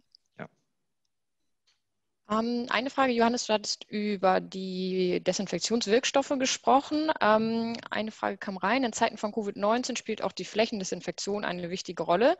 Und einige Endoskophersteller benennen nun Flächendesinfektionsmittel auf Basis von H2O2. Hat das einen Grund oder ist die Wirksamkeit besser als Produkte auf Alkoholbasis? Nein, es gibt ja, man, man muss da wieder sagen, es gibt dort einfach kein, kein besser und schlechter. Ähm, Bei dem, ähm, der Covid-19-Erreger ist ein behülltes Virus, das heißt, ich brauche eine begrenzte Virozidie. Das ist, das ist, das ist eindeutig. Und da gibt es ähm, keine, wir reden ja hier, wenn wir von der Schlussdesinfektion reden, haben wir immer eine volle Virozidie. Das heißt, damit wird eine Wirksamkeit dagegen sowieso abgedeckt. Und bei der Flächendesinfektion, auch wie gesagt, man sollte darauf achten, dass es, ein, dass es eine begrenzte Virozidie hat. Ich würde es nicht vom, vom, vom Wirkstoff her abhängig machen. Ähm, da ist es eher so die Frage, dass man dann natürlich gucken muss, ob das Produkt vielleicht irgendwie inkompatibel mit dem, mit, mit dem, mit dem Instrumentendesinfektionsmittel sein kann. Weil ich zum Beispiel, wenn ich, wenn ich ein aldehydhaltiges Produkt für die Flächendesinfektion einsetze, was ich jetzt nicht unbedingt empfehlen würde für die Routine, aber ich und ich nehme ein aminhaltiges Produkt in meinem Vorreinigungsbecken und ich tropfe was daneben, dann habe ich Verfärbungen auf meinen Oberflächen. Die haben jetzt erstmal nur einen kosmetischen Charakter, aber sind natürlich auch nicht wirklich ähm, möchte man auch nicht haben. Aber grundsätzlich sind, äh, ist durch, durch, durch, ähm, ist durch, das, ähm, durch den Erreger von, von, von Covid-19 sind keine so besonderen Maßnahmen, was die Flächendesinfektion angeht, erforderlich, weil in der Regel wird immer mit begrenzt viroziden Produkten gearbeitet. Das ist eigentlich das, die wichtigste Aussage hier. Hm. Gut, dann kam eine Frage noch rein. Es gibt ja Produkte, die kann man zur, zur desinfizierenden Vorreinigung nehmen und nachher zur Schlussdesinfektion. Und da ist die Frage, ähm, reicht es, muss ich da richtig äh, zwischenwässern, also muss ich ein Zwischenspülen machen oder reicht es, wenn ich eine gründliche Entleerung mache zwischen dem Reinigungs- und dem Desinfektionsschritt? Also ich sage mal so, das Zwischenspielen ist dort nicht ganz so wichtig, wie wenn ich wirklich andere Produkte nehme. Aber ich habe, ich muss natürlich auch bedenken, ich, ich, ich verschleppe immer was. Wenn ich das, wenn ich das, wenn ich, wenn ich, wenn ich ein Endoskop nicht gründlich durchspüle danach wieder im Zwischenschritt, verschleppe ich was von meinem, von meinem Vorreinigungsbad in das Desinfektionsbad. Dadurch habe ich eine andere Belastung. Dadurch kann es sein, dass die Wirksamkeit natürlich irgendwann herabgesetzt wird. Gerade bei PSC-Säureprodukten, die halt auch wirklich mit allen organischen Materialien dann reagieren um auf Nummer sicher zu gehen, ich würde immer empfehlen, den Zwischenschritt unabhängig davon gründlich zu machen. Das ist halt so der Punkt. Mhm. Gut, jetzt haben wir noch weitere Fragen. Zwei Fragen machen wir noch. Einmal, welche Wirkstoffe fixieren Eiweiß? Ähm, ja, also Aldehyde fixieren äh, Eiweiße definitiv. Ähm, deswegen ist eine, also im Prinzip beide muss man sagen, wenn sie, wenn sie für die Schlussdesinfektion eingesetzt werden, auch die PSI-Säure. Deswegen ist es bei beiden ganz wichtig, dass die Reinigung funktioniert. Wenn ich eine mangelhafte Reinigung habe, dann kann ich diese, diesen Effekt haben. Wenn ich von Persisäure wird ja auch für die, für, die, für, die, für die Vorbehandlung eingesetzt, für die, für die desinfizierende Vorreinigung. Da wird in der Regel aber mit einer neutralen Persisäure gearbeitet. Und die Persisäure fixiert sehr stark, wenn sie, wenn sie im niedrigen pH-Bereich ist, im sauren Bereich, ähm, allerdings nicht im neutralen Bereich. Und deswegen haben wir dort, können wir, können wir das, die, die, die neutrale Persisäure ja überhaupt nur zur desinfizierenden Vorreinigung einsetzen. Also das ist halt der Punkt für die Stoßdesinfektion, damit sie funktioniert und ist es immer wichtig, dass die, die Reinigung sehr, sehr gründlich gemacht wird. Ähm, und dann habe ich auch keine Fixierungsprobleme. Mhm. Und sonst eine letzte Frage noch. Sollte zur Vorreinigung zwingend ein enzymatischer Reiniger verwendet werden? Nicht zwingend, nein. Die Vorreinigung soll ja den maschinellen Prozess unterstützen, wenn wir jetzt davon reden. Und das heißt natürlich, ähm, ich, es gibt da verschiedene Theorien. Äh, ich würde sagen, ich würde nicht sagen zwingend. Es ist tatsächlich wichtig, dass die Reinigung ähm, gründlich gemacht wird, dass sie vernünftig funktioniert. Es gibt da auch kein, kein, kein, kein, kein Für oder Wider, dass ob jetzt ein enzymatischer Reiniger da besser ist oder nicht. Ähm, das muss tatsächlich wirklich vorher ausprobiert werden. Es haben ja viele andere Faktoren noch einen Einfluss, wie die Wasserqualitäten, die eingesetzt werden. Da muss vielleicht auch ein bisschen geguckt werden, welcher der, das optimale Produkt denn dort ist. Aber äh, ich, es muss nicht zwingend ein enzymatischer Reiniger eingesetzt werden. Nein. Gut, okay. Herzlichen Dank. Dann, dann gehen wir rüber zum letzten Themenblock zu Frau Professor Heike Martini. Da ist das Thema ähm, Desinfektion versus Sterilisation. Diese Diskussion kam ja auf nachdem insbesondere in Amerika im Rahmen nach, nach ERCPs sogar Tote ähm, zu berichten waren. Und dann hat eine Fachgesellschaft sogar gesagt, man sollte überlegen, ob man Endoskope nicht sterilisiert, einfach um eine größere Sicherheitsmarge zu haben. Das wurde, die Position wurde in Europa nicht ganz so übernommen. Und jetzt möchte ich an Frau Martini weitergeben und Sie werden uns bestimmt dann den letzten Stand der Diskussion berichten. Ja, jetzt muss ich mein Mikro wieder einschalten. Okay. Ja, äh, schön, dass Sie hoffentlich viele mir zuhören. Komisch, dass ich sie nicht sehe, aber ich glaube, wir werden, die anderen haben es auch äh, geschafft, dann werde ich es auch schaffen. Also Desinfektion oder Sterilisation bei der Aufbereitung flexibler Endoskope. Gucken wir mal. Jetzt schaltet er nicht weiter. Jetzt, okay. Also, ich will erstmal vorweg sagen, ich hab, es gab in der letzten Zeit von Herrn Professor Leis und mir schon einige schriftliche Äußerungen zur Sterilisation und von Bronchoskopen und Zystoskopen. Und ich wollte eigentlich äh, vermeiden, dass wir diese, dass ich das alles wiederhole. Ich habe das auf den Folien aufgeschrieben, wo Sie das nachlesen können. Das ist einmal unser Diskussionsbeitrag. Dann gab es dazu Gott sei Dank einen Leserbrief, den wir sehr ausführlich beantworten konnten und nochmal Literatur dazu bringen. Und es gab einen Leserbrief zu einem Artikel eines, eines RDGE-Herstellers äh, zur Sterilisation von Bronchoskopen. Auch da können Sie nochmal die Argumentation hinsichtlich äh, der Nichtwirksamkeit bei nicht gereinigten Endoskopen sagen. Darum geht es ja eigentlich. Also, Heute werde ich Ihnen keine Daten präsentieren, die zeigen, dass die Sterilisation und auch natürlich die Desinfektion von verunreinigten Oberflächen fehlschlägt. Ich werde Ihnen eher sagen, warum man es nicht machen braucht.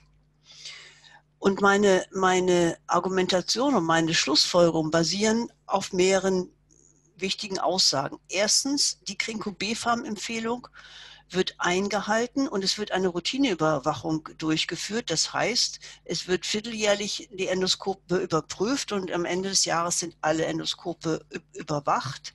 Und es ist dabei keine, sind dabei keine negativen Ergebnisse gewesen. Das heißt, der Prozess ist stabil und funktioniert. Und natürlich, ganz wichtig, die, die, die ähm, mit Betreiberverordnung wird eingehalten. Es wird ein validierter Prozess durchgeführt. Das heißt, nachweislich funktioniert das, was ich tue, ordnungsgemäß. Und ich habe damit die Sicherheit, dass ich die ganze Zeit bis zur erneuten Qualifikation vernünftig arbeite. Und nicht ganz unwesentlich sind die Herstelleranweisungen. Das heißt, die Herstelleranweisungen sind vorhanden. Man kennt sie, man hat sie beachtet und sie sind in der Standardsarbeitsanweisung auch berücksichtigt. Das heißt, sie sind nicht einfach nur gelesen, sondern man richtet sich auch danach. Und dann sollte ein Endoskop ja auch vernünftig aufbereitet sein können. Und etwas auch, das führt oft zu Missverständnissen. Natürlich ist eine Sterilität zwingend bei operativen Körperöffnungen wie Endoskope, die für Eingriffe in mikrobiell nicht besiedelte Körperregionen verwendet werden, also intraoperative Endoskopie, Chirurgangioskopie zum Beispiel, sind in Sterilgutverpackung mit Gas oder gleichwertigen Verfahren zu sterilisieren und kontaminationsgeschützt aufzubewahren. Das ist Bestandteil der Krenko B-Farm-Empfehlung und ich glaube, darüber gibt es auch keine Diskussion. Um diese Endoskope geht es in meinem Vortrag nicht. Und auch das hat mir manchmal böse Worte äh, gebracht. Natürlich darf jeder, jeder darf immer sterilisieren seine Endoskope, wenn er das will. Ich verbiete das keinem und wir untersagen das niemandem. Ich sage Ihnen nur, dass es teilweise eben sinnlos ist, wenn ich nicht richtig reinige. So, was, was werde ich jetzt aber sagen? Bis jetzt habe ich gesagt, was ich nicht sage. Jetzt sage ich Ihnen, was ich, wo, wozu ich was sage. Erstmal, wie komme ich zu den sogenannten sterilen Organen? Wo ich dann Endoskop eventuell auch sterilisieren sollte, was viele Leute fordern. Wie ist denn die Mikrobiologie dieser Organe? Ist sie denn überhaupt steril? Wie ist der Zustand der Endoskope nach der Aufbereitung? Und dann noch ein paar Argumente für und wieder zur Sterilisation von Bronchoskopen und Zystoskopen. Also, wie komme ich zu den Organen? Da ist für uns wieder Frau Alpha ganz hilfreich. Sie hat schon vor vielen Jahren, also jetzt 21 Jahren, geguckt, was ist in einem Endoskop, das beim Patienten eingesetzt wird, an einmal an Organik zu, äh, zu untersuchen und eben auch an der Mikrobiologie. Und die zehn Bronchoskope, die sie dort dargestellt hat, waren einmal äh, eingesetzt, um mikrobiologische Proben zu kriegen und an, einmal um zytologische Proben zu ziehen. Was hat sie gefunden? Sie hat sowohl im Median als auch im, im Mittel bis zu, bis zu 10.000 KBE gefunden, also die ganze Menge. Und die Spanne der KBE, die gefunden wurde in diesen zehn äh, Bronchoskopen, lag zwischen 100 und zwischen 100.000. Also doch eine ganz große Unterschiede, je nachdem, wie gearbeitet worden ist oder warum auch immer dieser Unterschied ist. Äh, ich habe ja schon eine Weile darüber äh, gesucht und auch Herr, Herr Leis hat sehr gesucht. Wir haben nichts gefunden über Zystoskope nach der Benutzung. Das heißt also, da hat anscheinend niemand untersucht. Das heißt, wir können jetzt nur den Rückschluss machen von der Besiedlung der Uretra, was denn dort drin ist.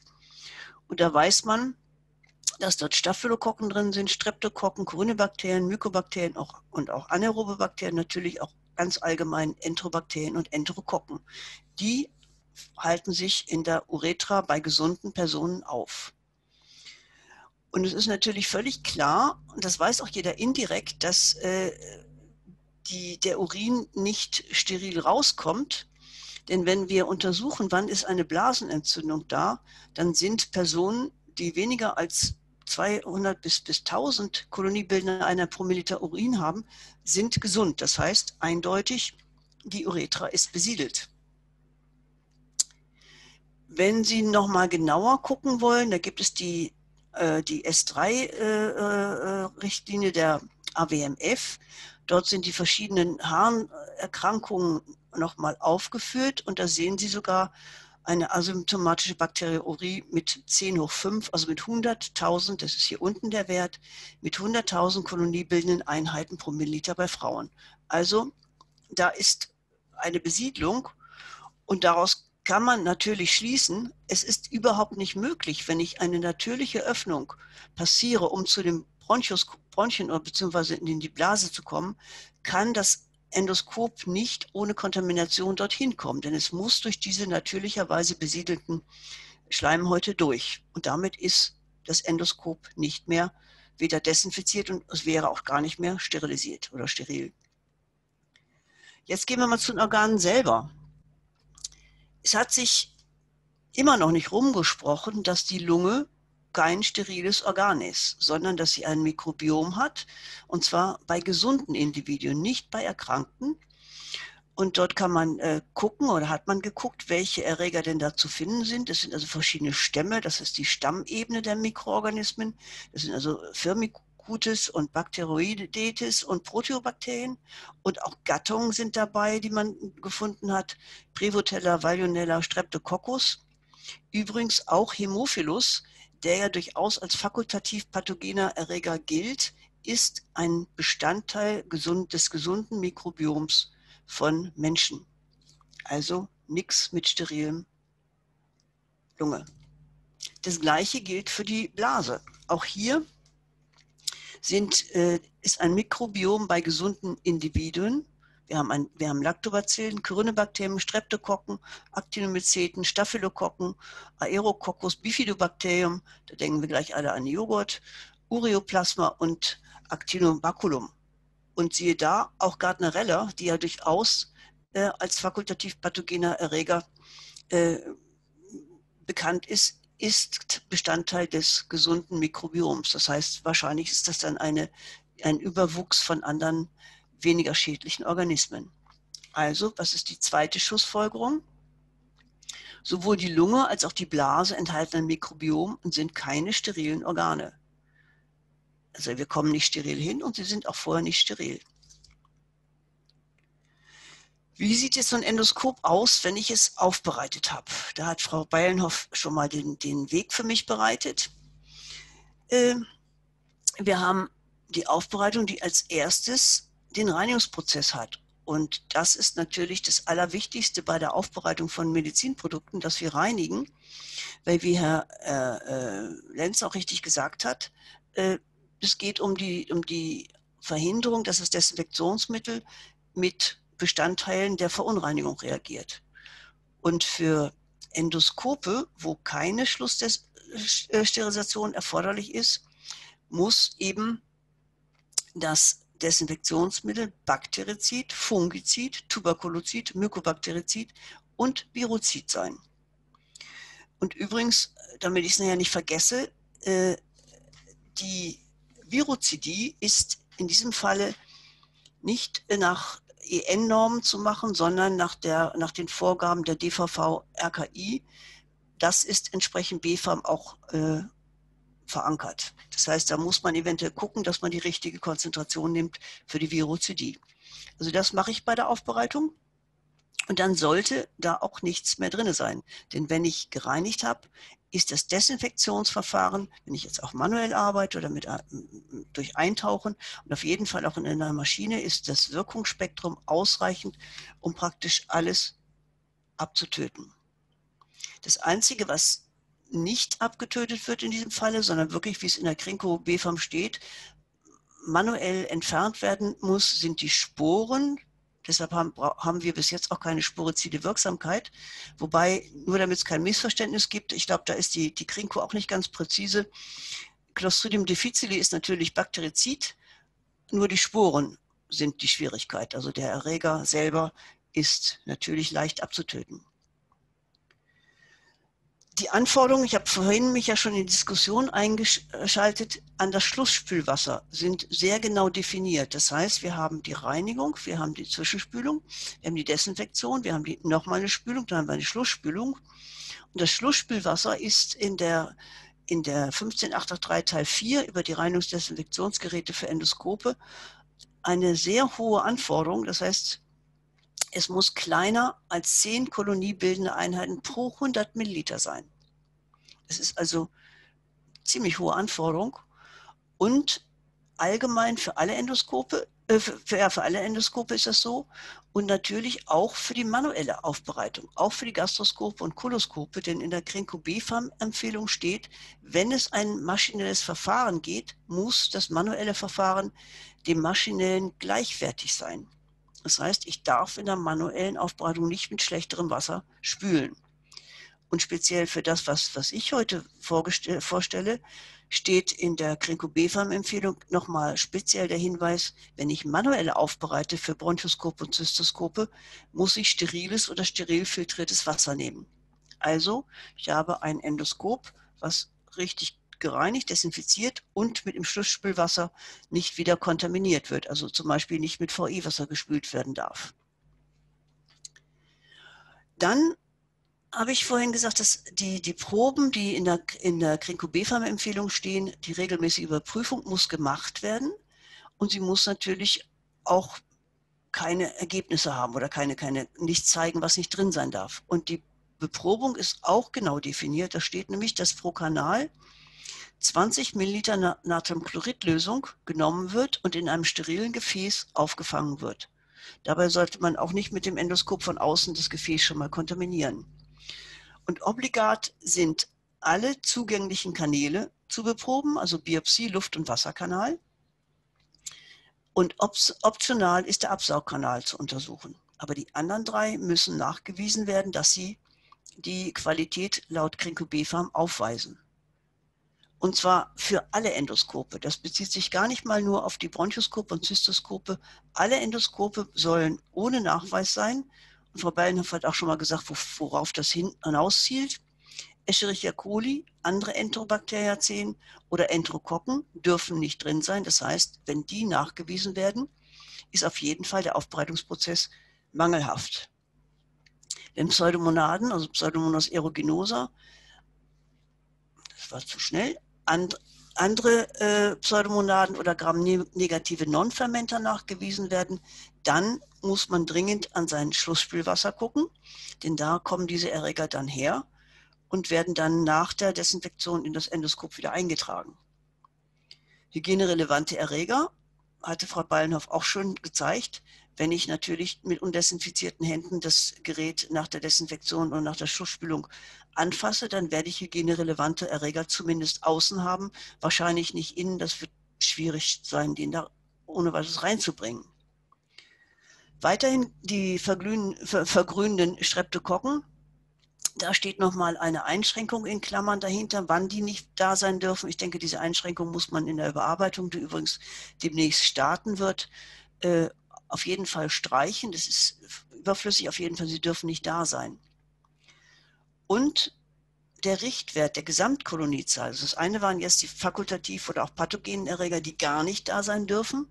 Und es gibt aber auch eine Anforderung an die Gesamtkoloniezahl und die muss kleiner 1, 1 kBe pro Milliliter sein. Und zwar bezieht sich diese Angabe auf das Probevolumen pro Kanal von 20 Milliliter. Es ist auch wichtig, dass man das richtig macht.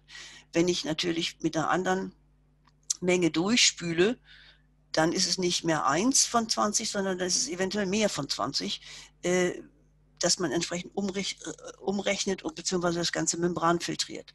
Auch hier sollte, sollten die Abteilungen gucken, ob denn die Labore, die die Proben nehmen und berechnen, ihnen auch die richtigen Werte geben.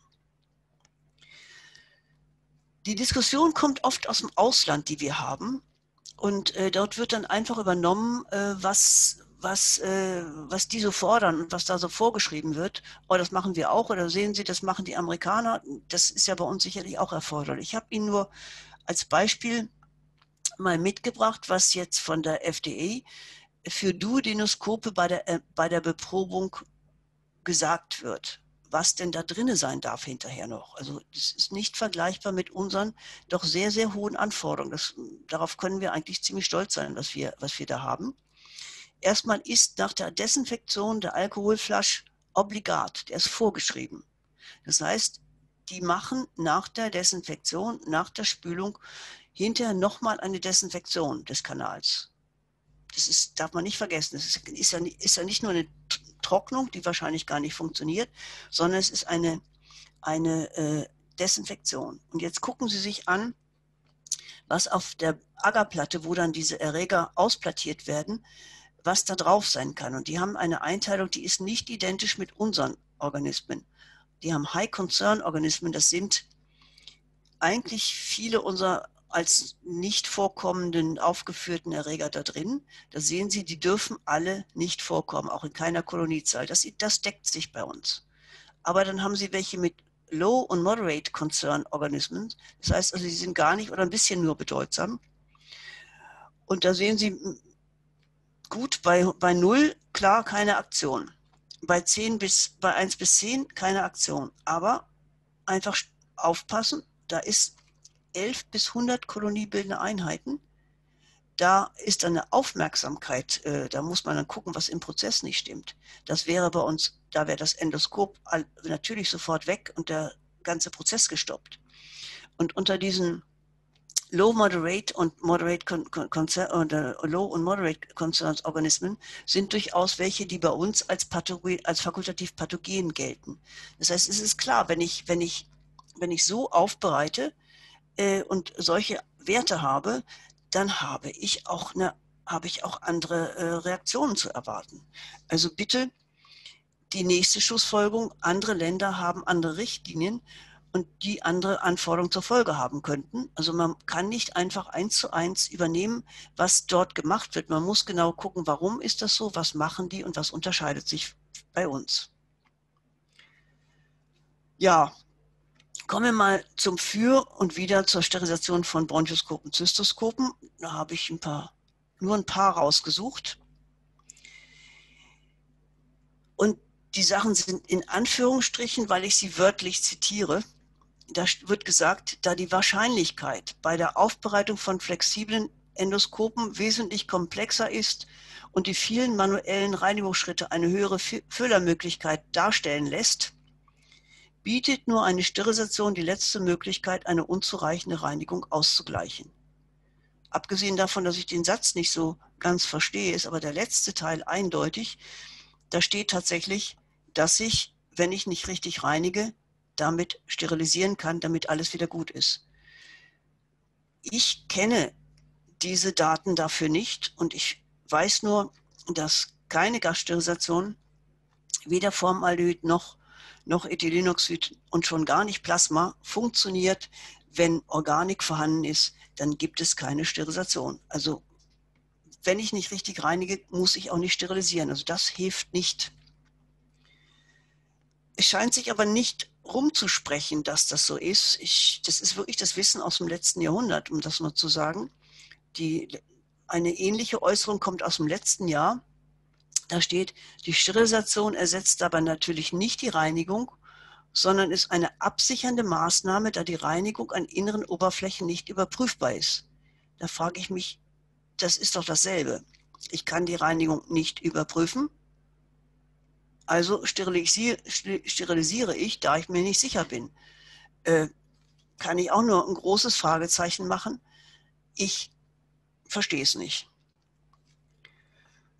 Ähm, dann gibt es ein paar Äußerungen gegen die Sterilisation von, von ähm, Bronchoskopen und Zystoskopen. Das erste ist mal der Hinweis, immer wenn ich, und zwar im Zusammenhang mit Notes ist das gemacht worden, was ja heute, glaube ich, nicht mehr so in Mode ist, wenn man also durch eine natürliche Körperöffnung das Endoskop, Entschuldigung, das Endoskop schiebt, um in ein, äh, in ein Organ oder auch in eine, eine, auch in einer äh, Körper zu operieren, dann nimmt die mikrobielle Last zu in, oder ist unterschiedlich in den verschiedenen Zugängen. Ist natürlich am höchsten im Darm, gastrointestinal, Ösophagus, vaginal und natürlich praktisch nicht vorhanden, nur ganz minimal, wenn ich über einen Schritt, einen, einen Schnitt in einen Körper eindringe. Dann habe ich natürlich äh, keine Schleimhaut, die besiedelt ist. Die, diese Publikation hat Frau Beilnhoff vorhin auch schon mal erwähnt. Und das sagt was zu den Sporen. Die Arbeitsgruppe sagt, Infections with spore-forming bacteria have not been reported from appropriately high-level disinfected endoscopes. Also nochmal übersetzt für, wenn es zu schnell gegangen ist, also Infektionen mit Spor, sporenbildenden Bakterien sind nicht dokumentiert und nicht berichtet, wenn die Endoskope richtig, also den Vorschriften entsprechend aufbereitet worden sind. Das heißt, die gibt es nicht, diese, diese, diesen Hinweis auf die Sporen, dass dort irgendwas übertragen wird. Wir haben die, eine Europ European Hygiene Expert Forum, das jetzt diese, letztes Jahr zum dritten Mal getagt hat. Und hinterher gibt es immer noch eine, eine, eine Zusammenfassung, was denn so beschlossen worden ist, was besprochen worden ist. Sie sehen, das sind äh, überwiegend äh, tatsächlich Europäer. Im letzten Jahr sind auch noch Amerikaner dazu gekommen. Frau Beilenhoff ist natürlich auch dabei. Und sie haben auch nochmal wiederholt, unstrittig unter den Experten ist die Sterilisation von flexiblen Endoskopen, die in sterilen Bereichen des Körpers zum Einsatz kommen und nicht durch natürliche Körperöffnung eingeführt werden. Also, wenn wenn es, wenn es, wenn es äh, in, in, einer, in, einer, OP kommt, natürlich dann, aber wenn sie durch sterile Körper, durch natürlich besiedelte Körperöffnung kommen, dann müssen sie nicht steril sein. Das ist der Umkehrschluss dieses Satzes. Wird auch nochmal anders ausge, äh, ausgedrückt. Weiter wurde diskutiert, inwieweit die Sterilisation tatsächlich eine höhere Sicherheit bieten würde, was aufgrund der derzeitigen Datenlage unklar bleibt. Zudem zeigen aktuelle Publikationen, dass auch nach einer doppelten Desinfektion oder sogar einer Ethylenoxid-Gassterilisation die Abtötung von multiresistenten Erregern nicht immer gegeben ist. Also ich kann das, was ich vorher nicht richtig gemacht habe, nämlich nicht richtig gereinigt habe, kann ich durch eine Sterilisation oder eine Desinfektion nicht wieder gut machen. Frau Alpha, die Sie ja als erstes schon gehört haben, ist äh, auch immer noch aktiv und hat in Buenos Aires auf dem äh, Aufbereitungskongress äh, einen Vortrag gegeben und hat gesagt, so wird es zumindest berichtet von, von den Teilnehmern, Michelle Alpha gab einen Überblick zum Thema Akkumulation von Rückständen auf unzureichend gereinigte Medizinprodukte verhindert wirksame Desinfektion mit hohen Niveaus, High-Level Disinfection und Sterilisation. Das musste natürlich HLD heißen, aber okay ich habe es nicht verbrochen. Als Resümee stellte sie fest, dass die Reinigung mehr als nötig ist für Medizinprodukte, insbesondere für, für flexible Endoskope. Also hier auch nochmal der Hinweis, es muss einfach gereinigt werden, sonst kann auch nicht richtig desinfiziert werden. Also die vierte Schlussfolgerung, es gibt viele Daten, die zeigen, dass eine Sterilisation und eben eine Desinfektion bei schmutzigen Oberflächen nicht sicher erreicht wird. Zur Wiederholung, Endoskopkanäle werden immer kontaminiert, wenn mikrobiologisch besiedelte Wege passiert werden. Also sie würden niemals steril am Organ ankommen. Zweitens, Lunge und Blase sind aber auch gar keine sterilen Organe. Daher die Schlussfolgerung, es besteht keine Notwendigkeit, Bronchoskope oder Zystoskope zu sterilisieren. Damit danke ich allen, die mir zugehört haben, für ihre Aufmerksamkeit und äh, hoffe, dass wir auch eine kleine Diskussion bekommen. Ja, herzlichen Dank, Frau Professor Martini. Da kam gleich zu dem Thema eine Frage aus dem Chat. Ähm, was ist mit den Endoskopen, die peroral in sterile Körperhöhlen eingeführt werden, zum Beispiel bei Poem. Sie hatten ja das, äh, das Diagramm gezeigt, dass äh, das ungefähr in der Mitte der, der Belastung liegt. Man geht ja durch die ähm, Speiseröhre runter und schneidet dann aber in, ein, in Haut und in einen Muskel hinein. Wie sehen Sie das? Wie, wie, wie müssten, und das passiert ja auch häufig dann auch mit Gastroskopen. Wie, hm? wie denken Sie, wie müssten diese Endoskope vorbereitet werden? Nicht anders als die anderen weil sie gehen durch einen kontaminierten Weg und sie kriegen, sie kriegen ja durch die Stirn, sie haben ein Endoskop, was aufbereitet worden ist, hat richtig im validierten Prozess, hat keine Erreger mehr, keine Erreger vom Patienten vorweg, keine aus dem Wasser und so weiter. Das heißt, sie kriegen das, wenn sie es hinterher noch sterilisieren, erreichen sie nicht mehr. Sie würden vielleicht noch eine Spore abtöten, falls da eine drin ist. Aber das Endoskop ist nicht mehr, es wird eventuell ein bisschen mehr kaputt gemacht, das darf man auch nicht vergessen dabei. Da freuen sich andere Menschen dann darüber, wenn sie neue Endoskope verkaufen können. Aber der, das, das ist immer, das ist immer dieses, dieses Gefühl, ja, ich tue doch, ich tue doch, ich tue doch was Gutes, wenn ich sterilisiere. Ja, Sie dürfen sterilisieren, wenn Sie wollen. Aber wenn Sie unsicher sind, dass da was drin ist, dass Sie das in Patienten was reinbringen vom Vorgänger, dann müssen Sie Ihren Prozess überdenken. Denn wenn Ihr Prozess in Ordnung ist, kann dort nichts sein, was den Patienten gefährdet. Es gefährdet ihn nur das, was Sie sozusagen auf dem Weg zu dem Organ oder da, wo Sie den Schnitt machen, reingeholt haben in, in den Kanal. Es sei denn, ich mache den Kanal dicht, da kann man drüber reden. Ich weiß nicht, ob das geht. Wenn ich das will, kann ich vielleicht einen Kanal dicht machen. Äh, ist ein bisschen schlecht mit dem Aufblasen hinterher oder mit, mit dem Luft, Luft äh, infundieren, äh, dass ich da steril unten ankomme. Aber mit einem normalen Endoskop komme ich nicht steril, komme ich ja nicht mal desinfiziert an, da wo ich hingehe. Mhm. Das heißt, das Endoskop, das bereite ich äh, bestmöglich auf, aber auf dem Weg dahin unterliegt es natürlich einer Kontamination. Genau. Und da kam jetzt gleich dazu noch eine Frage muss man denn präventiv dann bei einer Zystoskopie Antibiotika geben? Äh, das habe hab ich, hab ich nicht gehört. Also ich bin natürlich kein, ich bin weder Urologe noch Mediziner. Ich halte mich da zurück. Ich glaube, es ist gar nicht jetzt hier dabei. Ich, ähm, ich würde, das, würde das nicht machen. Aber das ist jetzt meine Privatmeinung. Da kann ich, kann ich keine Literatur dazu bringen, weil äh, ich weiß auch nicht, ich habe das schon mal über mich ergehen lassen und ich habe keine keine präventive äh, äh, Antibiotika bekommen. Aber mhm. das weiß ich nicht. Okay, da müssen wir diese Frage zurückstellen. Ja, die, muss, anderen, die muss dann jemand anders beantworten. Dann kam eine weitere Frage. Bei, bei den Fällen, wo man wirklich Sterilität erreichen muss, ähm, muss das Endoskop ganz trocken sein, bevor man sterilisiert. Und im gleichen Zusammenhang macht der Alkoholflasche Sinn.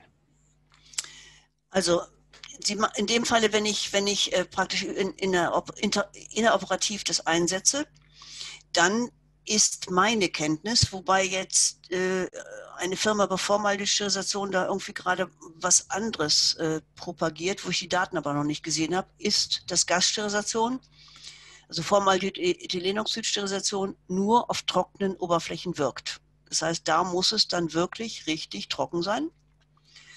Das wird zwar dann mit dem, mit dem Gas zusammen wieder befeuchtet, aber die Oberflächen müssen trocken sein. Auch bei, bei Plasma funktioniert es nicht, natürlich nicht auf feuchten Oberflächen. Das heißt, da müssen wir Knochen trocken machen und da könnte es sein, dass ich tatsächlich auch einen, einen Trockenschrank brauche, äh, der wahrscheinlich dann auch mehr erreicht als das Durchspülen. Aber auch das, da, dafür gibt es auch keine Unterlagen, gibt keine Daten. Wann, wie, wann das Endoskop innen wirklich steril, steril ist, bei wie viel Feuchtigkeit die noch, die noch drin ist, kann ich auch noch spekulieren, tue ich ungern, weil das ja aufgezeichnet wird und für die Ewigkeit man dann diesen Unsinn nachhören kann, den ich jetzt gleich von mir gebe. Ich sage ich lieber nichts mehr dazu. Mhm. Und was, was halten Sie vom Alkoholflasch als Trocknungsmethode? Wenig. Wenig, weil das ist wirklich, die ist in, ist in Deutschland mal gemacht worden. Es gab so eine Untersuchung aus äh, dem Institut, in dem ich, dem ich mal angehört habe, über Helicobacter pylori aus Endoskopen. Die haben dann festgestellt, dass es mit Alkoholflasch äh, äh, weniger äh, Sachen drin waren. Kann ich sagen, klar, da desinfiziere ich noch mal ein bisschen. Dann habe ich natürlich bessere Ergebnisse. Aber die Trocknung über den Alkoholflasch selber ist habe ich auch keine Daten darüber. Ich habe nichts darüber gelesen, dass es wirklich funktioniert. Ob das trocken genug ist, keine Ahnung. Mhm. Gut, jetzt ist eine, eine Frage reingekommen. Ist es möglich, dass wir die Folie mit dem Mikrobiom der Lunge nochmal anschauen?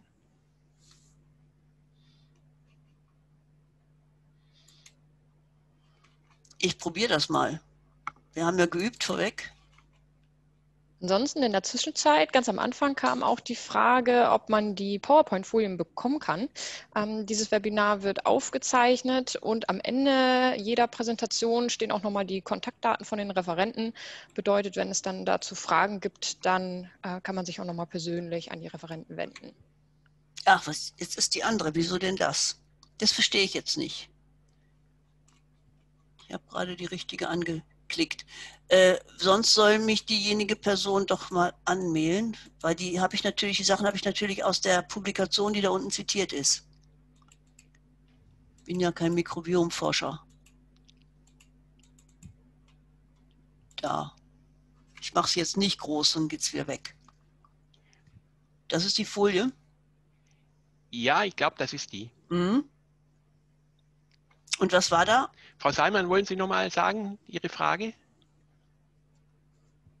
Frau Salmann soll mich anrufen.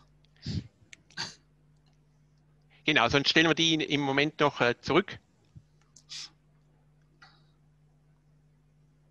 Ansonsten vielleicht ähm, für, für Frau Martini oder für die anderen Referenten, ähm, was meinen Sie, wie wird sich die Endoskopaufbereitung in Zukunft noch verändern?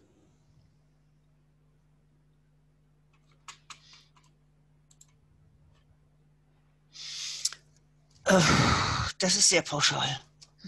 Also ich, ich, nehm, ich nehme erstmal an, äh, ich hoffe, dass wir da auf dem richtigen Weg sind, dass die maschinelle Aufbereitung doch äh, noch mehr zunehmen wird, weil wir eine Leitlinie in Vorbereitung haben über die manuelle, über die Validierung der manuellen Aufbereitung von Endoskopen.